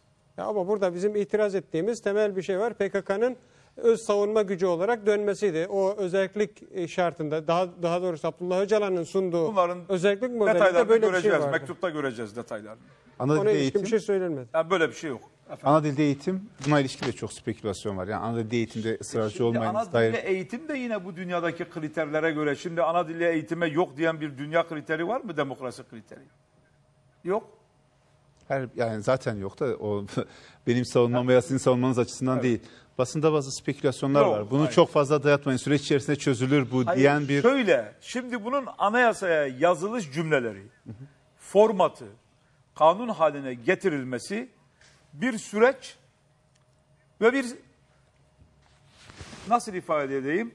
Yani hangi kelimeleri ve hangi üslubu seçmenizle alakalı olan bir şey. Şimdi bu gece meclis ana dil eğitim kararı alsın. Bunun uygulanması ne kadar zaman alacak? asgari 5 ve 10 yıllık bir süreç. İşte asgari 5 yıl yani hangi okul, hangi öğretmen bunun hazırlıkları yapılır. Engeller kaldırılır ama bir zaman içerisinde, bir bir periyot içerisinde bunlar gerçekleşir. Zannediyorum anayasal yasak kalksın, gerisi zaman içinde halledilir. Şimdi o kadar bir detay uzlaşma. bence biraz erken ama bu bir formüle edilecek tabii ki. Ama işte bunun için toplumdaki bu bu kaygıların, bu endişelerin, bu sinir uçlarının bir sakinleşmesi lazım. Karşılıklı güven olması lazım. Bir güven, samimiyet. İşte bu basamak basamak deniliyor ya. Zaten bu güven ve sükunet tesis edildikten sonra bir müddet sonra eylemsizlik yani karşılıklı bir çatışmasızlık süreci gerçekleşip çatışmasızlık süreci başladıktan sonra da zaten bu işler daha sükunetle Adım adım gider. adım adım bir yeni anayasayla taşlanır. Altan Bey, Abdullah Öcalan kendi kişisel e, durumu, kendi kişisel koşulları ile ilgili herhangi bir şey söyledi mi? Bu Bunları yol hiç gündeme getirmiyor. Bunlar teferruattır diyor. bu yol haritasında mesela e, o yol haritasının bir yerinde kendisinin cezaevinden çıkması da olabilir mi? Yani Şimdi bunları tabii bugünden konuşmak bence çok doğru değil. Ama kendi ağzından çıkan bununla ilgili yani bu bu saat ve bu tarih itibariyle böyle bir mevzu yok. O daha çok genel çerçevenin, genel demo. Yani bunlar normalleşirse zaten birçok şey zaman içerisinde yoluna girer diye düşünüyorum. kişisel koşullarından yakındı mı? Çok özel bir talebi olmadı veya bir şey yakınması olmadı. Bir şey sorabilir miyim? Şimdi şu ana kadarki konuşmalarımız sanki bütün bu meselenin e, Abdullah Öcalan ve sizlerin aracılığıyla e, işte belirli Kürt çevrelerine ulaştırılan e, mesajların sonucu belirlemesi gibi. Halbuki yani bütün bu konuşmalarda Abdullah Öcalan'ın MİT görevlileri ya da başkaları aracılığıyla devletle, hükümetle, iktidarla yaptığı görüşmeler bir kere zemini oluşturan bu herhalde. Önce onda anlaşmışlar, öyle anlaşılıyor. Bu anlaştıkları nokta nedir sizce? Yani Anlaştıkları, yani tırnak içinde anlaştıkları diyorum. Çünkü biz kimin neye imza Gencay Bey harika bir soru. Ha, evet. Sağ olun. Tırnak içinde diyorum. Tırnak üzerinde anlaşılan demokratik bir Türkiye. Şimdi bunda da hükümet samimi mi? Değil mi? İşte onu soruyorum. Evet. İş- iş- İşte bunu hep beraber göreceğiz. İkna olmuş mu samimi olduğuna Öcalan? E, Bunu hep beraber göreceğiz. Herkes de ben de dahil temkinli bir iyimserlik var. Temkinli bir Altan abi şöyle Öcalan'da da soralım. öyle mi? Onu mu kastediyorsun? Gencay abinin Tabii ki hepimiz belki de öyle. Şöyle, mesela Oslo süreciyle bu süreç arasında bir fark görüyor mu örneğin irade konusunda? görüyor tabii. Yani Görüyor şu andaki çünkü- sürecin daha irade. Daha kuvvetli bir irade mi çünkü görüyor? Bu süreçte kendisi daha aktif, daha direkt birinci elden yani PKK ile alakalı olan kısmını söylüyorum. Müzakereleri yürütüyor, görüşmeleri yürütüyor ve burada hepimizde, bütün Kürtlerde mesela ben şimdi kendi şeyimi söyleyeyim. Son 45 gündür dikkat ederseniz ben hiç ciddi bir televizyon programı, açıklama, beyanatta bulunmadım. Yani benim rolümün dışında bir laf, bir adım, bir tavır sürece zarar verir dedim halk tabiriyle topa girmedim. Ha şimdi bugün niye konuşuyorum? Bugün de arkadaşlarımızla yaptığımız konuşmada şunu söylüyoruz. Yani sanki çok gizli bir şeyler. Hayır gizli saklı bir şey yok işte bu. Demokratik bir Türkiye olursa bir Türkiye demokratikleşirse, Kürtlere de demokratik hakları verilecek, Kürt sorunu çözülürse PKK sorunu da bir şekilde çözülecek. Bu işin denklemi böyle kuruluyor. Peki olacak mı? Şimdi ben kendimle alakalı olan şeyi orada söylüyorum. Son bu bir ay, bir buçuk ay zarfında yani bu süreç başladıktan sonra ben tabii her hafta Diyarbakır'a gidiyorum. Ama onun ötesinde Mardin, Şırnak, Batman, Urfa, İstanbul onlarca toplantıya katıldım. Onlarca. Yani parti kongresi, açık oturum, işte etkinlik vesaire. Klasik soru. Yüzlerce insan yanaşıyor. Kürtçe ve ve Kürtçe. İşte bizi kandırıyorlar mı? Kapandın heyetüne. Yani kandırmaca var mı yok mu? Herkeste bu şey var. Yani bu bu süreç hakikaten samimi bir şekilde ilerleyecek mi ilerleyemeyecek mi? Yani İşte Altan Bey, işte aynı- ilerlemezse Aynı felaket şey olur. ben de onu söyleyecektim. Denilen nokta şey bu. bu. Gidin a, e, Sivas'a, e, İzmir'e, Antalya'ya, Edirne'ye oralarda da e, ne oluyoruz? Türkiye nereye gidiyor? Parçalanacak mıyız? Bölünecek miyiz? Bunlar e, nereye gidiyoruz diye büyük bir kaygı var. Yani aslında Herkes barış istiyor ama herkes kaygılı. Evet böyle bir kaygı var. Evet. Çok da tepki var mesela. Siz ikide bir Sayın Öcalan, Sayın Öcalan diyorsunuz. O, ona çok tepki var. Yani oldu olacak Öcalan'a telekonferansla bağlanın. Sayın Öcalan da bizlerle konuşurken sayın diye hitap ediyor. Biz nasıl hitap yani edelim? O, söyleyelim? o sinir uçlarındaki duyarlılığı gösterdiği için bunu söylüyorum. ben herkese sayın. Yani seyircilerden Evet. gelen şeyler var. Yani mesela bir tanesi ne yani şimdi Türkiye APO'nun talimatlarıyla mı demokratikleşecek diyor mesela. Hayır hepimizin Ee, kararıyla olacak bu.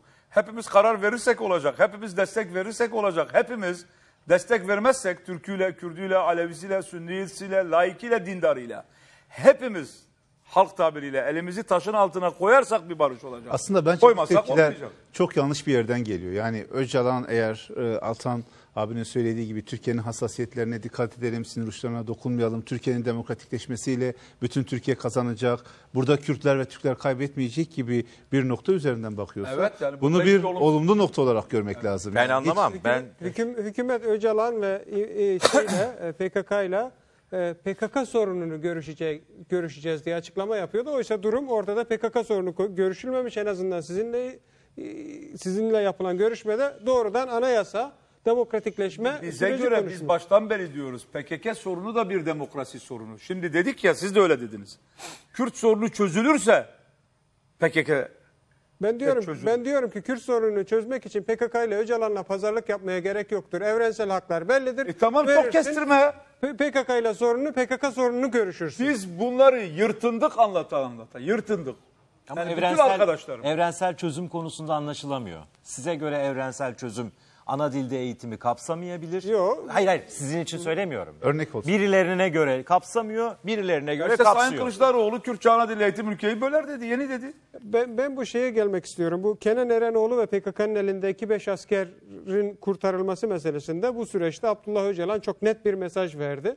O süreç nasıl çıktı? Kim söyledi? Yani siz mi teklif götürdünüz? Hayır, hayır, kendisi- Öcalan kendisi mi doğrudan Biz zaten başından beri bunların bırakılması için BDP olarak ilk günden beri biz bu tip şeylerde çok net tavırlar sergiliyoruz. Ama Emre Uslu bir, bir şey hatırlatayım. Biz geçen hafta yaptığımız tarafsız bölgede o kaçırılanlarla ilgili PKK'nın elinde tutsak olan kaymakam ve diğer 5 kişi değil mi? Evet. Onlarla Toplam ilgili 16 emre- herhalde. Evet, var işte be- bir 5 kişi diye biliyorum ben Biz ama. biz toplam son dönemde kaçırılan 6 kişi var. Daha kişi. önceden kaçırılanlar Onlar da var onlarla. Çıkarılan liste Emre 16 Uslu kişi. geçen hafta o pro- yaptığımız programda onu ısrarla vurguladı. Çok altını çizdi. Bir duyarlılık ortaya kondu. Öcalan'ın da e, size yapacağınız açıklama için verdiği açıklamada e, o mevzuyu dile getirmenizi istemiş olması Zaten ilginç. açıklamada iki şey Yok var. yani Birisi siz şunu basın diyorsunuz biz mensuplarına- hatırlattık Yok öyle bir şey demiyoruz yani. diyemiyoruz. Bö- Böyle bir kredi bırakılsın. fena bir kredi değil. Yani Emre Uslu hatırlattım diyor. Bak Öcalan Ben da öyle bir almış şey- mesajı diyor. Ben öyle Ha? bir şey demem. Ben demem. Yok ben o, o süreç Zaten iyi bir mesaj süreç çok kısa aslında. biliyorsunuz. Beş cümle. Birisi basın mensuplarına işte selam ve saygı. Öbürü yani inşallah bu bu askerler veyahut da işte tutsaklar ailelerine saat içerisinde, selamet içerisinde dönerler. İki şey. Sadece bu kadar mı konuşuldu bu mesele? Sadece bu kadar. O Mesaj bu mesajda yazılı o. Mesaj. Siz ne konuştunuz diyor demek istiyor yani. Mesaj bu kadar. Yani kendisinin söylediği de Altan Bey, e, şimdi biliyorsunuz Paris'te bir 3 e, PKK'lı öldürüldü Evet. kadın. E, ve ondan sonra da herkes şöyle değerlendirmeler yaptı. Bu süreç çok e, işte dikkatle götürülmeli çünkü sabotajlar, e, provokasyonlara açık olabilir filan diye. Hatta o üç kadının öldürülmesini de bir tür sürece yönelik provokasyon olarak yorumlayanlar da oldu. Başka hikayeler anlatanlar da oldu. Öcalan hangisini benimsiyor? Yani ne diyor bu, bu üç kadının öldürülüşü? Doğrusu Konuştunuz çok- mu? çok önemsiyor ve Sakine Cansız başta olmak üzere diğer arkadaşlara çok büyük değer veriyor ve bu şeyin kendisine yapılmış gibi olduğunu söylüyor. Bu bu eylemin mutlaka aydınlatılması gerekiyor. Nereden geldiğini düşünüyor. Tabii çok genel bir değerlendirme belki ama işte bu süreci sabote etmek isteyenler, bozmak isteyenler, Peki bu eski süre Gladio vesaire uzantıları ama bunun da yani hükümet tarafından da Fransa tarafından da mutlaka yani herkes gibi ya o da aynı şeyi söylüyor. Aydınlatılması lazım. peki bu sürecin sabotaja açık, provokasyona açık bir süreç olduğunu Tabii. da belirtiyor tabii, mu? Tabii onun için zaten diyor hepimizin çok dikkatli olması lazım. Hükümetin de bizim de sizin de öbürünün de diğerinin de vatandaşın da yazarın da yani bu iş ya doğru düzgün sükunetle oturulup konuşulacak bir demokratik çözüme doğru gidecek adım adım. Zaten ilk başta da sonda da ortada da hep aynı şey söyleniyor. Veyahut da Allah korusun eğer başarıya ulaşamazsa çok daha kötü olacak. Bir daha böyle bir sürece başlayamaz. Çok zor tabii. Peki Altan Bey mesela benim en çok büyük korkum şu.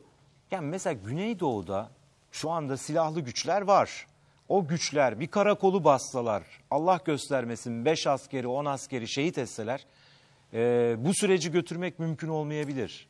Çok büyük bir problem. Ama te- tersi oluyor Tersi de geçerli olabilir. Pardon? Tersi de geçerli. Şimdi tersi de oluyor mesela. Hala operasyonlar devam ediyor. Hala bombalamalar devam ediyor. Şimdi tersi de var. Doğru da bu nedenle niye PKK ısrarla içeride durmaya da ısrar ediyor o zaman? Madem süreç bu Çıksın. kadar önemli, madem bu kadar Abdullah Öcalan hassas, niye bir an önce bu çıksın desin? Zaten istediği zaman girebiliyor sınırda. Ya- Zaten Arkadaşlar- Başbakan da bakın bugün e, şu açıklamayı yaptı. Süreç ancak silahlı güçlerin sınır dışına çıkmasıyla başlayabilir dedi. Dikkatinizi çekmiştir mutlaka. Şimdi ben aslında bu işleri biraz şöyle görüyorum. Hani çok klasik bu tavuk mu yumurtadan çıkar yumurta mı efendim o çekilsin bu dursun. Arkadaşlar bir sefer bu bu süreç yani birkaç aydır görüşülüyor olsa bile kamuoyuna açıklanması ve hükümetin bir irade beyan etmesi yönüyle çok yeni henüz. Ya dolayısıyla lütfen biraz bekleyelim. Yani 5 gün, 10 gün, 15 gün ve her ne kadar işte biraz zaman kaybedildi falan diyorsak da ama genel büyük periyot göz önünde bulundurulursa çok yeni, çok taze, çok kısa. Eğer biraz bu sükunet devam ettirilebilinirse sanırım bunların hepsi olur bir zaman içerisinde. Bir de şöyle analizler de yanlış. İşte efendim Öcalan mecbur kaldı. Sıkıştı. Mesela bazı AK Parti milletvekillerinin de böyle beyanatları var. Bazı köşe yazarlarının da böyle beyanatları var. İşte yeni bir manevra, yeni bir hamle. Mesela bu, bu, bu çok yanlış bir şey. Ya arkadaşlar sen sıkıştın ben sıkıştım. İşte Türkiye mi sıkıştı ben mi sıkıştım? Ama Öcalan'ın bir Herkes sıkıştı. bütün yani Türkiye sonuçta bütün Orta Doğu sıkıştı. Ama Öcalan'ın kişisel koşulları nedeniyle bir sıkışmışlığı söz konusu her zaman için hapiste. E bu yeni bir şey değil ki 14 E, senelik doğru, bir şey. doğru. Yani 14 sene bu iş böyle devam etti de yani- yani şimdi mi bütün işte halk tabiriyle lastikler patladı. Dolayısıyla bu analizler de yanlış. Türkiye topyekün sıkıştı. Şimdi Suriye'de rejim değişecek. Topyekün Suriye'nin sorunu var. Orta Doğu'da Kürtlerin sorunu var. Irak üçe bölünme aşamasına girdi. Türkiye devleti aydınıyla, milletiyle hani derin Fransa tabiri var. O derin lafı oradan çıktı da sonra bizde kontrgerille mal edildi. Derin Türkiye. Eğer bir aklı varsa hepimizin, bütün milletin ya buradan topyekün selametle çıkacağız. Hep beraber bir çıkış yolu bulacağız. Anlaşacağız, uzlaşacağız, kucaklaşacağız. Veyahut da Allah korusun biz de işte etrafımızdakiler gibi olacağız. Peki. Tekrar söylüyorum yani efendim bu bir felaket ne? Bu bir bu bir tehdit mi? Bu bir hayır tehdit değil işte. Bakın Beyrut'ta ne oluyor? Şam'da ne oluyor? Efendim Kerkük'te ne oluyor? Yani bütün etrafımız yanıyor. Şimdi biz ya bu yangının içerisinde bir güvenlikli bir çıkış yapacağız buradan. Topyekün bir yeni uzlaşma, toplumsal uzlaşma. Bu bunun da tekrar tekrar söylüyorum. Sadece Kürt sorunu değil, başörtüsünden cemevlerine kadar. Bu arada bir girebilir miyim soru? Topyekün bir demokratikleşme, Kürt sorununu da bunun içinde çözme, Türkiye demokratikleşirse, Kürt sorunu çözülürse PKK meselesi de yani bugünkü formatından ayrı bir düzleme gelecek. Şimdi Wall Street Journal'da bugün okudum ben şey diyor. E, Suriye ile Kuzey Suriye'deki Kürt bölgesindeki e, Kürt hareketinin uzlaşma yönünde Esad boş bırakınca Türkiye şey hissine kapıldı. Yani bölgede bize bir de Suriye üzerinden şey gelecek. Kürt hareketi gelecek ve onun için uzlaşma için önemli nedenlerden biri olarak da bunu gördü diyor ve Öcalan'ın bu konudaki rolüne dikkat çekiyor falan. İlginç bir tahlil var. Bu mesela Suriye falan konuştunuz mu? Genel olarak konuştuk tabii ki. Irak'ı da Suriye'yi de yani şimdi 3 saat oturup konuştuğum vakitte en- en ne konuştun? Efendim top çevirdik böyle bir şey söz konusu değil. Ama işte bütün analizler Mesela PYD'ye ilişkin bir şey söyledi mi? Yok Öcalan? öyle çok Söylemedi. çok detay hayır. Fakat konuşulan şey şu. Bu saatten sonra Suriye'deki Kürtlerin eski statüsüyle kalması mümkün mü? Değil. Yeni Suriye'de Kürtlerin de bir statüsü olacak. Evet. Ya bir eyalet olacak, ya bir otonomi olacak, ya bir federasyon olacak, bir şey olacak. Ana dil eğitim hakkını da alacak. Efendime söyleyeyim. Suriye için söylüyorsun. Evet evet. Şimdi Irak'ta böyle bir yapı var, Suriye'de bir yapı var. Siz Türkiye'yi çözmüyorsunuz. Hiçbir sorununu çözmüyorsunuz. Şimdi 7 sefer Türkiye'de Alevi çalıştayı oldu. Hepiniz biliyorsunuz. Peki 7 çalıştayın sonunda ne çıktı? Ne var elde? Elde var sıfır.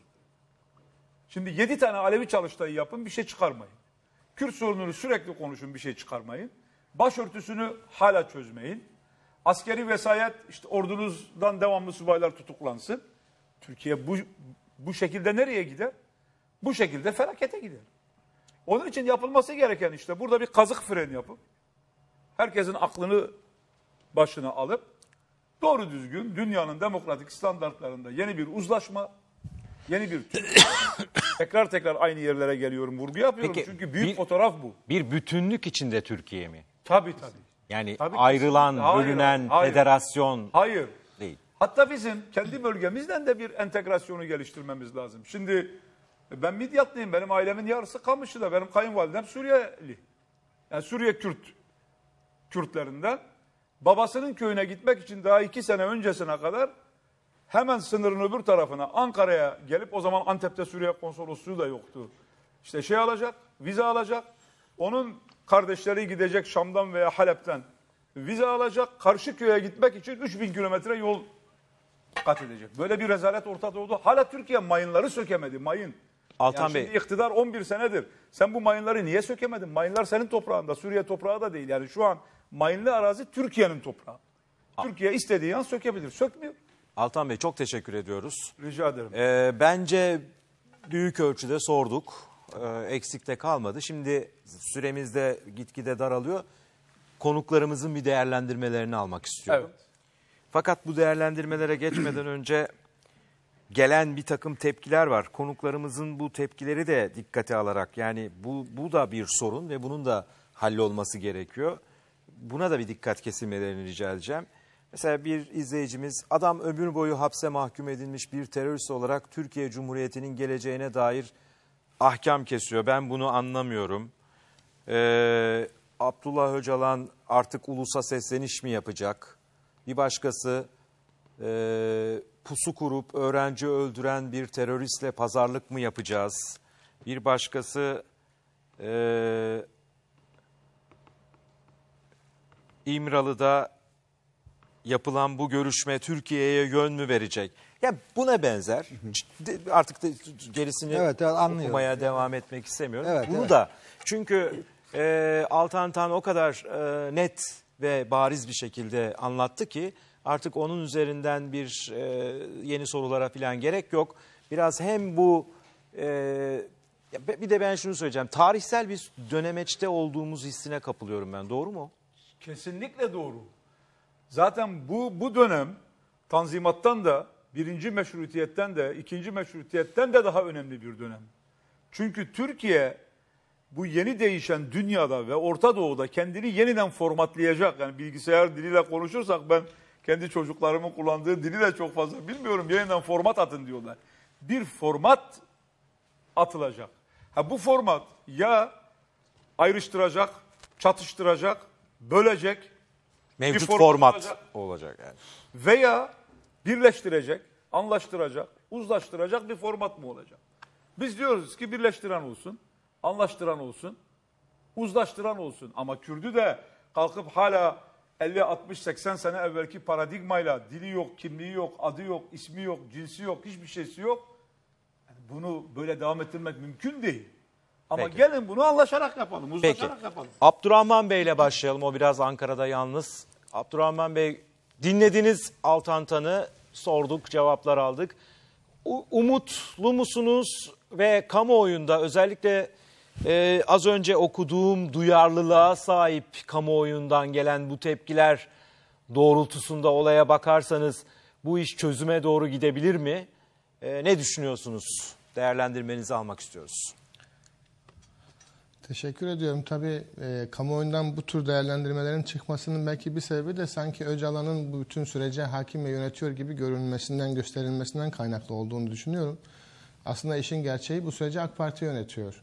Devlet aklı ve AK Parti bu anlamda böyle bir süreci yönetiyor ve aslında AK Parti'nin mesela yeni anayasa yapmak gibi bir süreçle ilgili olarak Öcalan söyledi diye yapmıyor bunu.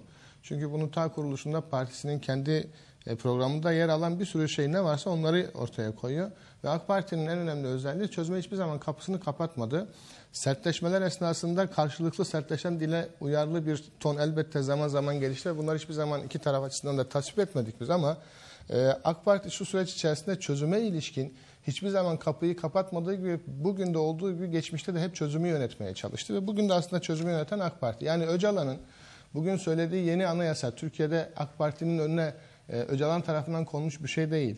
E, veya işte e, Türkiye'nin demokratikleşme süreci. Bu 11 yılda birçok şey eksik görülebilir ama biz zaten o kadar çok şeyin eksik olduğu bir ülkedeydik ki 11 yılda ancak bu kadarını bir hükümet yapabilir ve bunu çok büyük bir başarıyla yaptığını bütün dünya kabul ediyor. Bu önemli bir şey. Burada önemli olan şey şu.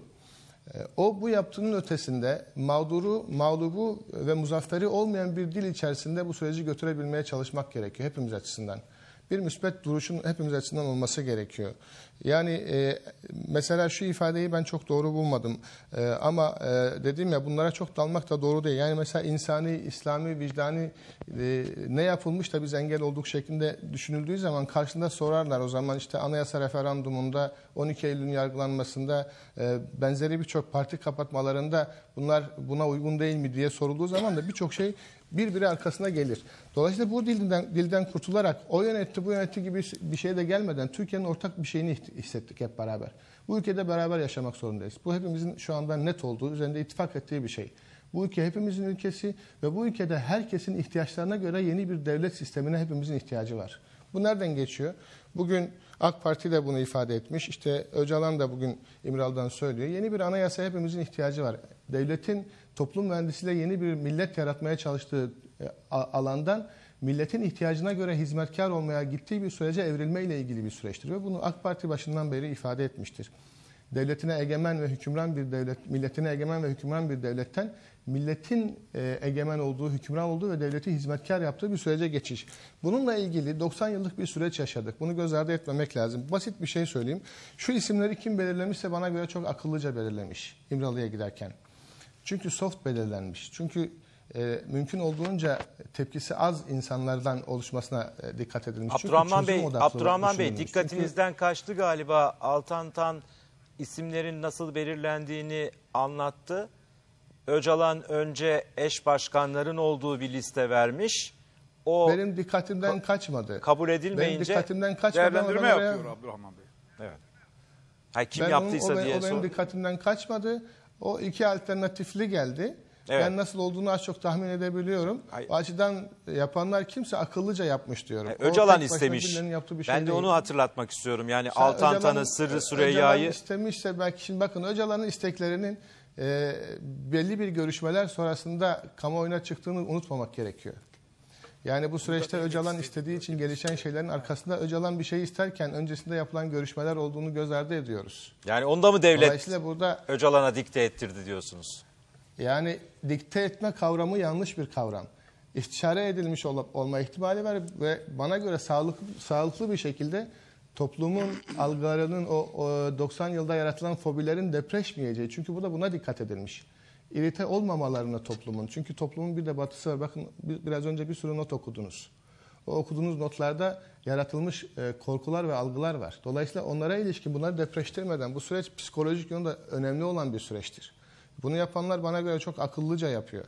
Ve bu süreç içerisinde ben bundan dolayı bu süreçten çok daha fazla umutlanıyorum. Ciddi görüyorum, önemli görüyorum, değerli görüyorum. Çünkü hassas düşünüldüğünü görüyorum aynı Peki zamanda. Abdurrahman Bey Bizim siz yapmamız gereken şey... Siz bu soruna e, çok e, hakim bir isimsiniz. E, sizin hissiyatınız da gerçekten yani bu 30 yıllık e, kanlı süreç bitiyor. Gerçekten umutluyum diyebilecek bir noktada mısınız? Ne diyorsunuz? E, çünkü Şahsen Altantan temkinli iyimserlik e, sözcüklerini kullandı. Siz ne diyor? Ben iyimserim mi diyorsunuz? Ben e, elbette ki iyimserim olmadığım, şimdi, şimdiye kadar hiç olamadığım kadar bu süreçte iyimserim. Ama bu bir mutlaklık anlamında değildir. Çünkü neticede hiçbirimiz gaybı bilemiyoruz. Ama biz e, elimizdeki verilere baktığımız zaman hiç olmadığımız kadar iyi bir noktada olduğumuzu. Çünkü açık söyleyeyim e, bana göre e, ilk defa uzun yıllardan sonra yani bu AK Partili süreçle beraber devlet Kürtleri ciddiye alıyor. Kürtleri dinliyor. Bu sadece e, İmralı süreci için bunu kastetmiyorum. 2005 öncesinde de bakın e, açı, o 2005 konuşmasının öncesinde de sivil toplum örgütlerinden Kürtlerin kanaat önderlerine kadar herkes dinleniyor. AK Parti içerisindeki Kürtler dinleniyor. E, bu süreç içerisinde işte bugün çatışmanın bitmesi için çatışmanın tarafı olanlar dinleniyor. Bu önemli bir şeydir. Peki. E, dolayısıyla bu sonuca gitmek açısından elbette ki bize umut veriyor. Ama burada çok dikkat edilmesi gereken bir şey hepimizin e, olumsuza ilişkin cebimizde bir sürü söz var. Ve bunlar geçmişte kaldı. Yarını biz olumlu sözlerle yapmak durumundayız. Bana göre AK Parti de BDP de e, diğer partiler de Türkiye'nin geleceği adına hep beraber olumlular neyse onun için çaba gösterip on, onaran cümleler kurmaya dikkat etmek durumundayız. Basın bugün bu noktada iyi bir yerde, aydınlar bugün bu noktada iyi bir yerde. Bana göre BDP ve AK Parti de bu noktada iyi bir yerde. CHP ve MHP'yi de tabanlarının ben bu konuda çok daha yumuşak olduklarını biliyorum. Ama yönetimlerinin bu kaygılardan arınıp Türkiye'nin geleceğine hizmet edecek şekilde, hepimize hizmet edecek şekilde, çocuklarımızın anne ve babalarına Berfo Ana gibi e, bir mağduriyetle e, anılmalarını en- en- engelleyecek şekilde olumlu yaklaşmanın zamanıdır. Peki. Türkiye'nin tarihi yazılıyor. Herkes olumlu bir şekilde yerini almalıdır diye düşünüyorum. Çok teşekkürler. Gencer Bey siz ne düşünüyorsunuz? Dinledik Altantan'ı. Ee, Tarihi Tabii- bir süreç falan gibi sözler söylenebilir mi sizce de? Yani ben e, doğrusu e, çatışmasız bir döneme gireceğimiz konusunda ümitliyim. Bu bunu bekliyorum. Hakikaten burada e, zannediyorum o aşama bir biçimde Sağlanmış. sağlanmış durumda. Ama benim asıl endişem biraz uzun gelecek bakımından. Ee, bu işte anayasa meselesi falan çok uzun boylu üstünde duramadık gerçi ama yani diyelim ki en iyi ihtimalle işte ateşkes oldu, silahlı güçler sınır dışına çekildi. Nihayet işte başbakan ifade etti bu meseleyi BDP ile artık o aşamada konuşmaya başlarım diye konuşuldu ve bir uzlaşma zemini bulundu.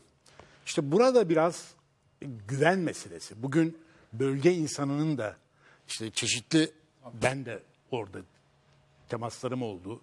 Bugün Cengiz Çandar yakında işte oradan gelen e, duyguları ifade etti. Altantan da gayet Aynı Ben şeyleri aynı söyledi. şeyleri net bir şekilde söyledi. Büyük bir güvensizlik var. Bu güvensizliğin giderilmesi konusunda siyasi iktidarın şu ana kadar attığı güven kazandırıcı bir adım yok.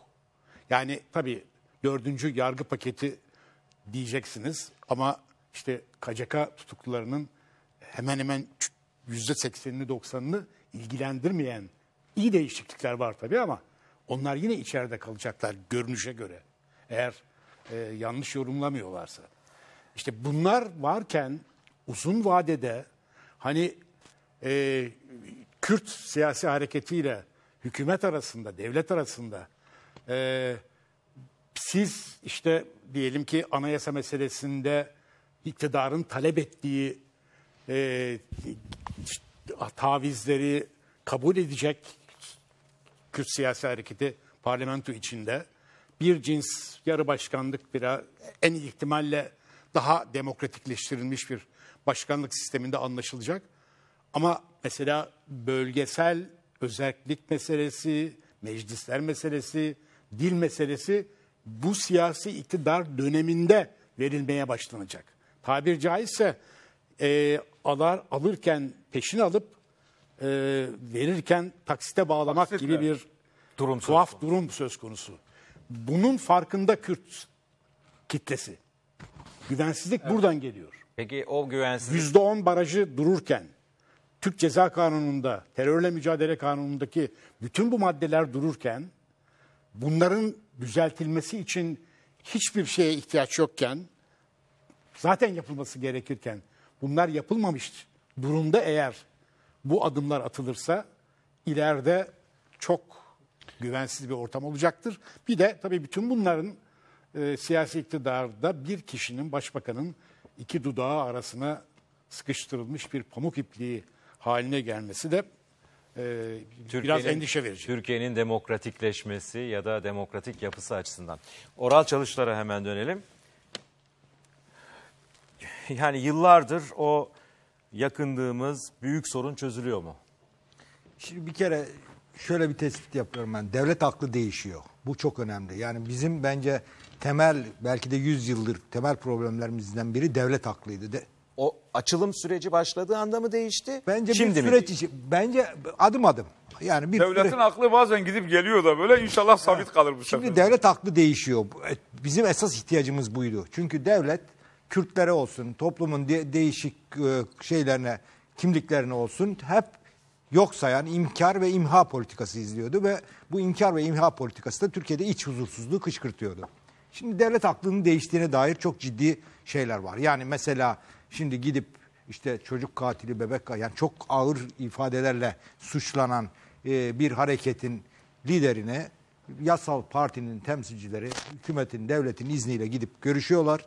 Televizyonlarda anlatıyorlar. Yeni bir durum yaratalım diyorlar ve bu yeni durum yaratılmasıyla ilgili yeni bir ortam da oluşuyor. Peki bu yeni ortam e, yıllardır PKK teröründen çekmiş şey. Ona geleceğim. Ona- onları ne yapacak? Şimdi şöyle Onları- bir şey. Önce devlet aklı değişiyor. İki, devletin aklının değişmesiyle birlikte Kürtler de değişiyor. Yani burada şöyle de bakmayalım meseleye. Kürtler oldukları yerde duruyorlar değil. Yani yeni mesela şimdi Öcalan diyor ya yeni paradigma, yeni Türkiye paradigması. Aslında PKK da eski Türkiye paradigmasının içinden yeni Türkiye paradigmasının içine geçecek. Yani o da kendi geleneksel mücadele metotlarını, düşünce metotlarını, örgüt hedeflerini, hedeflerini vesaire hepsini değiştirmek zorunda. önemli, evet. Yani böyle bir değişim de yaşanıyor. Yani Sadece devlet aklı değişmiyor. Bir Şey de değişiyor. PKK da değişiyor, Kürtler de değişiyor. Ama tabii 200 yıllık biraz önce Altantan da söyledi. 200 yıllık bir süreçten söz ediyoruz. Yani Türkiye'nin modernleşmesi süreci bir ulus devlete dönüştü ve bu ulus devletin yarattığı e, ve bizim hepimizi hapseden bir anlayış geldi. Çatışma, çatışma, çatışma buraya geldik. Şimdi tabii e, her uzlaşma dönemi kırılgan dönemlerdir. Her uzlaşma dönemi arkasında 50 bin e, insanın yaşamını yitirdiği bir dönem olduğu için e, hassas dönemlerdir. Ben dile çok dikkat edilmesi gerektiğini, hassa- hassasiyetlere çok dikkat edilmesi gerektiğini. Yani mesela diyelim ki Sinop'ta o gösteriyi yapanları bile kazanan bir dili kullanmak gerektiğini düşünüyorum. Yani öyle bir e, hale gelmeliyiz ki bu işin çözümünü isteyen, barış isteyen kuvvetler yani bu hem devlet tarafında hem e, diğer tarafta çok ciddi bir dil şeyine ihtiyaç var. İki toplumu tedirgin etmek yerine toplumu ikna eden bir şeye var. Tabii ki Gencay Yursoy'un söylediği yasal değişimler vesaire gibi topluma güven verecek veya Kürtlere güven verecek veya demokrasi isteyenlere güven verecek adımları da görmemiz gerekiyor. Oradaki eksiklikleri de eleştirmemiz gerekiyor ama ben Devletin dilinin de değişmesi gerekiyor. Tabii işte bu anlamda devletin dilinin de değişmesi gerekiyor. Yani burada e, hem Kürtleri rencide eden hem Türkleri rencide eden dilleri yavaş yavaş ortadan kaldıran. Ben bu konuda çok ciddi olumlu adımlar atıldığını düşünüyorum. Yani iki taraflı çok ciddi adımlar atıldığını. Ben de Diyarbakır'daydım iki gün önce. Ciddi bir tedirginlik var. Çok doğal bu tedirginlik.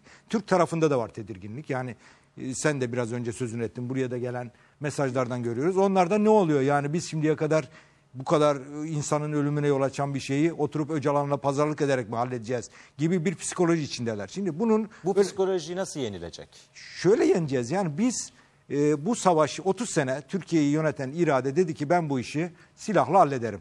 Silahlı isyan mı var? Ben bu silahlı isyanı silahla bastırırım. Ve biz bütün yetkimizi askerlere verdik. Militarist bir devlet kurduk. Paramızı verdik. Çocuklarımızı verdik.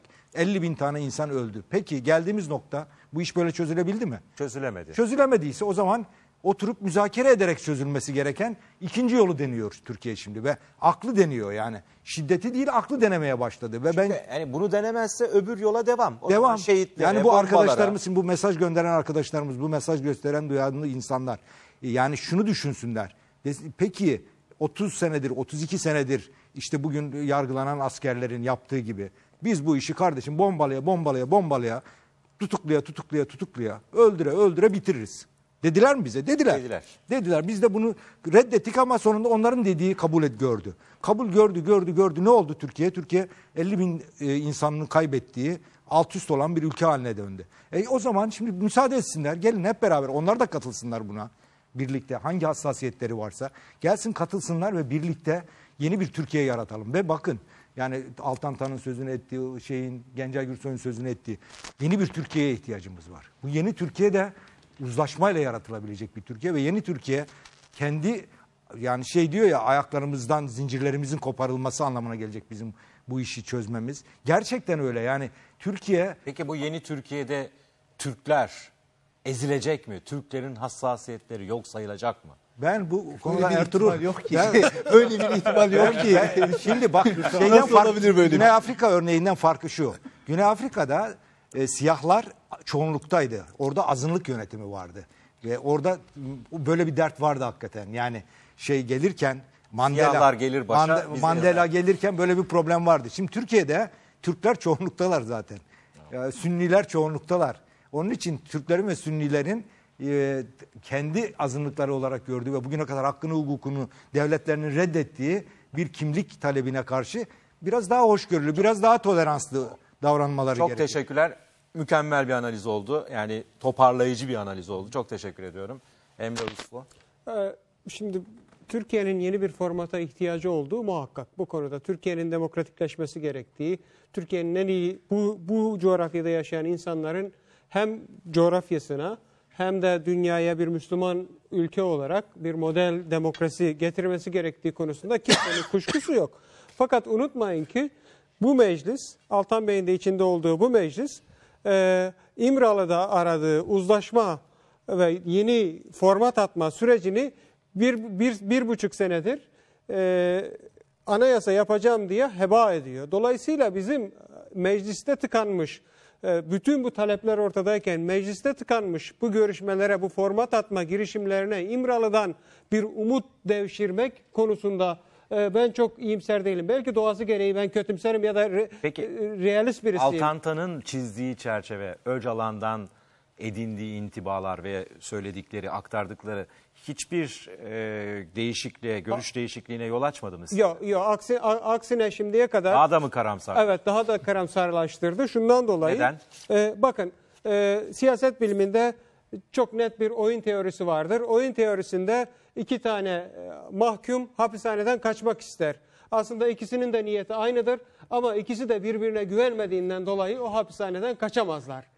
Böyle bir şey mi var diyorsun? Şu anda ne Kürtler Türklere güveniyor ne de Türkler Kürtlere güveniyor. Dolayısıyla iki güvensizliğin olduğu yerden biz oyun teorisinden umut çıkarıyoruz. Bunu nasıl çıkarıyoruz? Buna bir itirazım var şöyle. Benim de var ben de soru Yok soracağım. ben yok bekliyorum. küçük bir hani itiraz. şey yapmamak. Şimdi yapılmış anketler. Şimdi Benim büyük bir itirazım var. oralarda. 69,5. İmralı süreciyle ilgili yapılan anketler %65 hükümetin izlediği çizgiye ve uzlaşma sürecine destek yönünde. Ama biraz önce söyledikleriniz şey bu anketlerle uyuşmuyor. O zaman ya biraz Yok, önceki tedirginlik de söyledikleriniz var. O zaten tedirginlik game teorisindeki, oyun teorisindeki temel hikaye bu tedirginlik tedirginlik üzerine ya beni satarsa tedirginliği Emre oradaki hikaye. şunu şey diyorsunuz var, doğru. Ben çözüm istiyorum ama bu girilen yolla bir çözüme ulaşılabilecek. O tedirginliği giderecek şeyler var. Ben bu nedenle diyorum ki tedirginliği gidermenin çok kolay bir yolu var. Uzun süredir 2009'dan beri bunu söylüyorum. Silahlar, silahlı PK güçler. ya PKK'lılar sınır dışına çekilsin. dışına. Bakın PKK ile bu süre içerisinde müzakere etmek bir rodeoya benzer.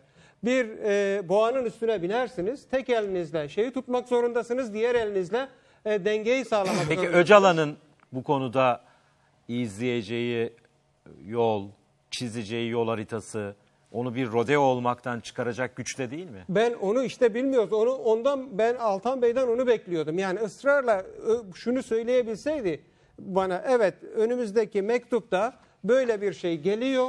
Şu şu tarih en azından bir tarih verse Bilmiyorum Öcalan. diyor ama Öcalan dese ki Mektuba iki gün var. Fazla E, bir şey var mı? Şu şunu an hükümette görürsek- mektup. şunu Hükümet yarın görürsek, verirse yarın bir, söyleyeyim. bir gün var mektuba. Pardon. Şunu görürsek Bir dakika bir dakika. mektupta- Mektup hükümette mi?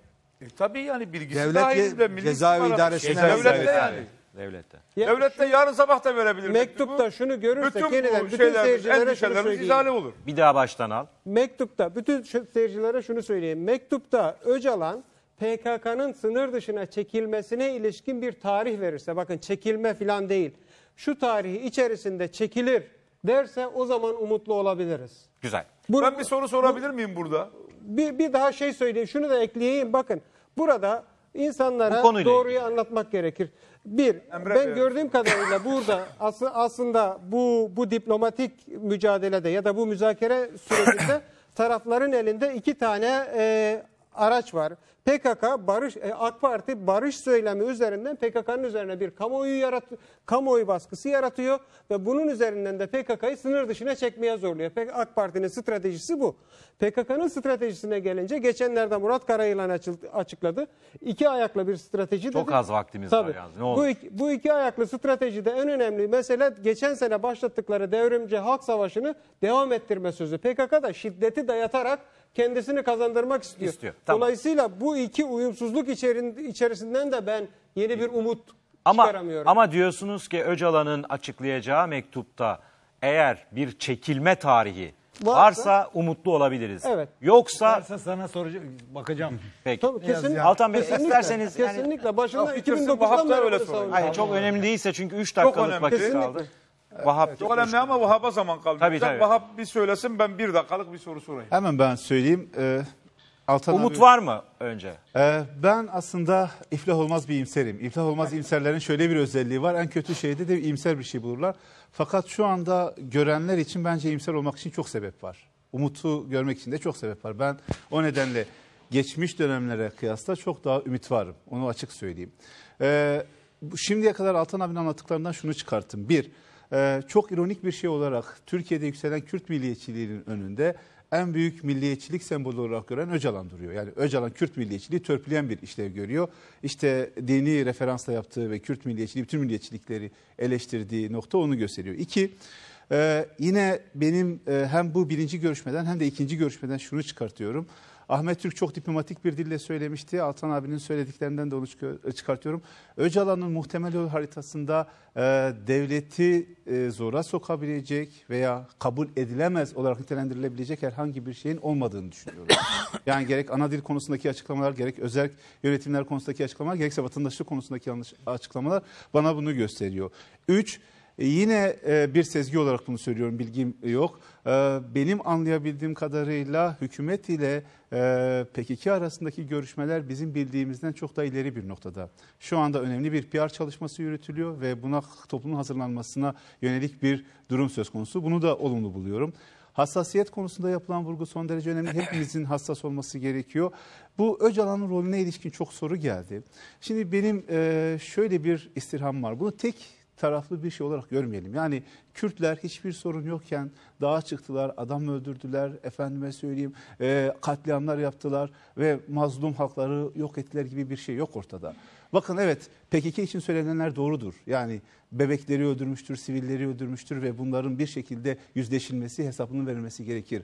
Ama aynı şekilde yani dışkı edililen Kürt köyleri vardır. 3 milyon Kürt evinden yurdundan edilmiştir. Kürtlerin aydınları, gazetecileri, öğrencileri sokak ortasında öldürülmüştür. Bu ülkede polisler, askerlerin yaptıkları zulmün haddi hesabı yoktur. Diyarbakır cezaevi. Diyarbakır cezaevi tek başına bir zulüm anıtıdır. Dolayısıyla sanki... Ama e, polis bütün- asker de şehit oldu. Evet onu söylüyorum. Yani herkesin diğer tarafın da yaşadığını, diğer Neyse, tarafın da bu- aynı acılara girdiğini bilip öyle konuşması gerekiyor. Yoksa bir tarafın acısını yükseltip diğer tarafı şeytanlaştırarak herhangi bir sorunu çözemeyiz. Altan Bey vaktimiz doldu. Çok, kısa, bir şey Çok söyleyin. kısa. Şimdi Emre Bey devamlı sürece negatif yaklaşıyor ve PKK sınır dışına çekilmediği müddetçe bu işte samimiyet yok diyor. Peki soruyorum şimdi sorum şu. Farz edin ki BDP, PKK, Kandil, Avrupa, Kürtlerin hepsi hata yapıyor. Hükümet niye doğru yapmıyor? Hükümeti Seçim zaten değiştirmesi için, Ya barajı bunu- indirmesi için, siyasi partiler yasası bakın diğerlerini demiyorum. Bunu 2009'da Değiştirmesi yazdım için- ben. Aynen şu, Neyi şu şekilde bekliyor? formülize ediyorum. Kürt haklarını, Neyi bekliyor? Kürt haklarını PKK ile mücadele ve müzakerenin rehinesi yapmayın. Sen doğruyu yap ben Hemen yanlış yapayım diyorum. beni de mahkum et. Ya bu konuda sizinle sonuna Kadar- kadar şey yapın. Sen Bunları doğru yap. yapmayın. 2009'dan beri bunu söylüyorum. Bunu Sen doğru zaten. bir yola gir. Tekrar doğru tekrar yap. söylemek lazım. Bunu, Bütün bunu söylüyorum alemde çıksın, 2009'dan desin beri zaten. Kardeşim bu Kürtlerin hepsi yanlış Çok, yapıyor. çok basit bir doğru formülüm var. PKK ile müzakere veya mücadelenin rehinesi yapmayın bunu. Verin bütün Doğru haklarını. yap. Ana dilde eğitim de dahil olmak Doğrusunu üzere. yap, evet. Verin. Avrupa yerel yönetimler şartlarını Evet. kaldırın. Evet, en kestirme yol. Bunlar Çok için teşekkürler. İmralı'ya tur düzenlemeye Bitti. gerek Sorum, yoktur. sorum kısaymış değil mi? Çok kısaymış ama cevap uzunmuş. Cevap- Bir şey söyleyeceğim. Ee, Öcalan e, şundan haberdar mı? Türkiye Cumhuriyeti Devleti ile Kandil arasında bir görüşme yapıldığı, bir trafiğin olduğuna Bu dair. konuda bir bilgim yok. Yani bize aktarılan, söylenen veya muttali olduğumuz eski tabirle bir şey yok. Şimdi e, orada görev yapan gazeteci arkadaşımız, daha doğrusu Erbil'de Çetiner Çetin'den bir mesaj geldi. O Kandil'e notların ulaştığı e, şeklinde bir bilgi aktarıyor bize ve Kandil'in de buna yönelik bir cevap geliştireceğine dair bir bilgi aktarıyor. Benim- Detaylara bakacağız. Son e, bir not olarak kulağıma söyledi arkadaşlar ama bakacağız Bir tabii. kötümserlik Ayrıntılara. olarak belki bu süreçten çatışmasızlık çıkabilir. Onu da söyleyeyim, not edeyim. Çatışmasızlık sınır dışına çekilmek değildir. Bir çatışması, ateşkes çıkabilir yani. Çatışma- Kötümserlik değil, iyimserlik değil. Ya bir kötümser olarak çıktı Ha, söylüyorum ha, ki anladım. iyi bir şey. Hayır, sen kötü bir şey söylüyorsun. O yok ben ben benim de iyi gördüğüm yanlar var diyor. Var diyor. Evet. Peki. Ya biz bu, bu Çatışmasızlık süreçte olsun, ateşkes maksimum bu olsun. çıkar. Yani benim bizim görebildiğim bizim bu. dileğimiz çatışmasızlık olsun, ateşkes olsun, barış Kalıcı olsun. barış olsun. Evet. Ee, silahlı güçler, Sınır dışına e, çıksın. PKK'lılar sınır dışına çıksın, PKK silah bıraksın ve bu iş bitsin. Hepimizin arzusu bu. Ee, Altan Bey çok teşekkürler. Yani bilmiyorum tatminkar oldun mu? Top Ga- çevirmedik herhalde. Hayır, Evet. gayet e, Benim soru- öyle bir tarzım yok. sorularımıza Top çok çevirirsem gelmem. net cevap verdiniz. Evet. Katılırız katılmayız orası ayrı Ayrı ama bir şey, gayet tabii. güzel cevaplar verdiniz. Ee, geçen İmralı e, görüşmesine Ahmet Türk ve Ayla Akat katılmıştı ve Ahmet Türk tarafsız bölgede İmralı görüşmeleriyle ilgili izlenimlerini aktarmıştı. Bu kez de Altan Tan e, aktardı. Çok teşekkür ediyorum kendisine. Ve e, gerçekten sizin katılmanız da çok iyi oldu. Benim tek başıma e, Abdurrahman Bey de dahil olmak üzere diğer konuklarımıza da çok teşekkür ediyorum. Benim tek başıma e, belki bu denli açamayacağım bir konuyu e, daha fazla, daha iyi, daha net bir şekilde açılmasına katkı sundunuz. Çok teşekkürler hepinize. Tarafsız bölge burada sona eriyor. Hepinize iyi akşamlar diliyorum. Hoşçakalın.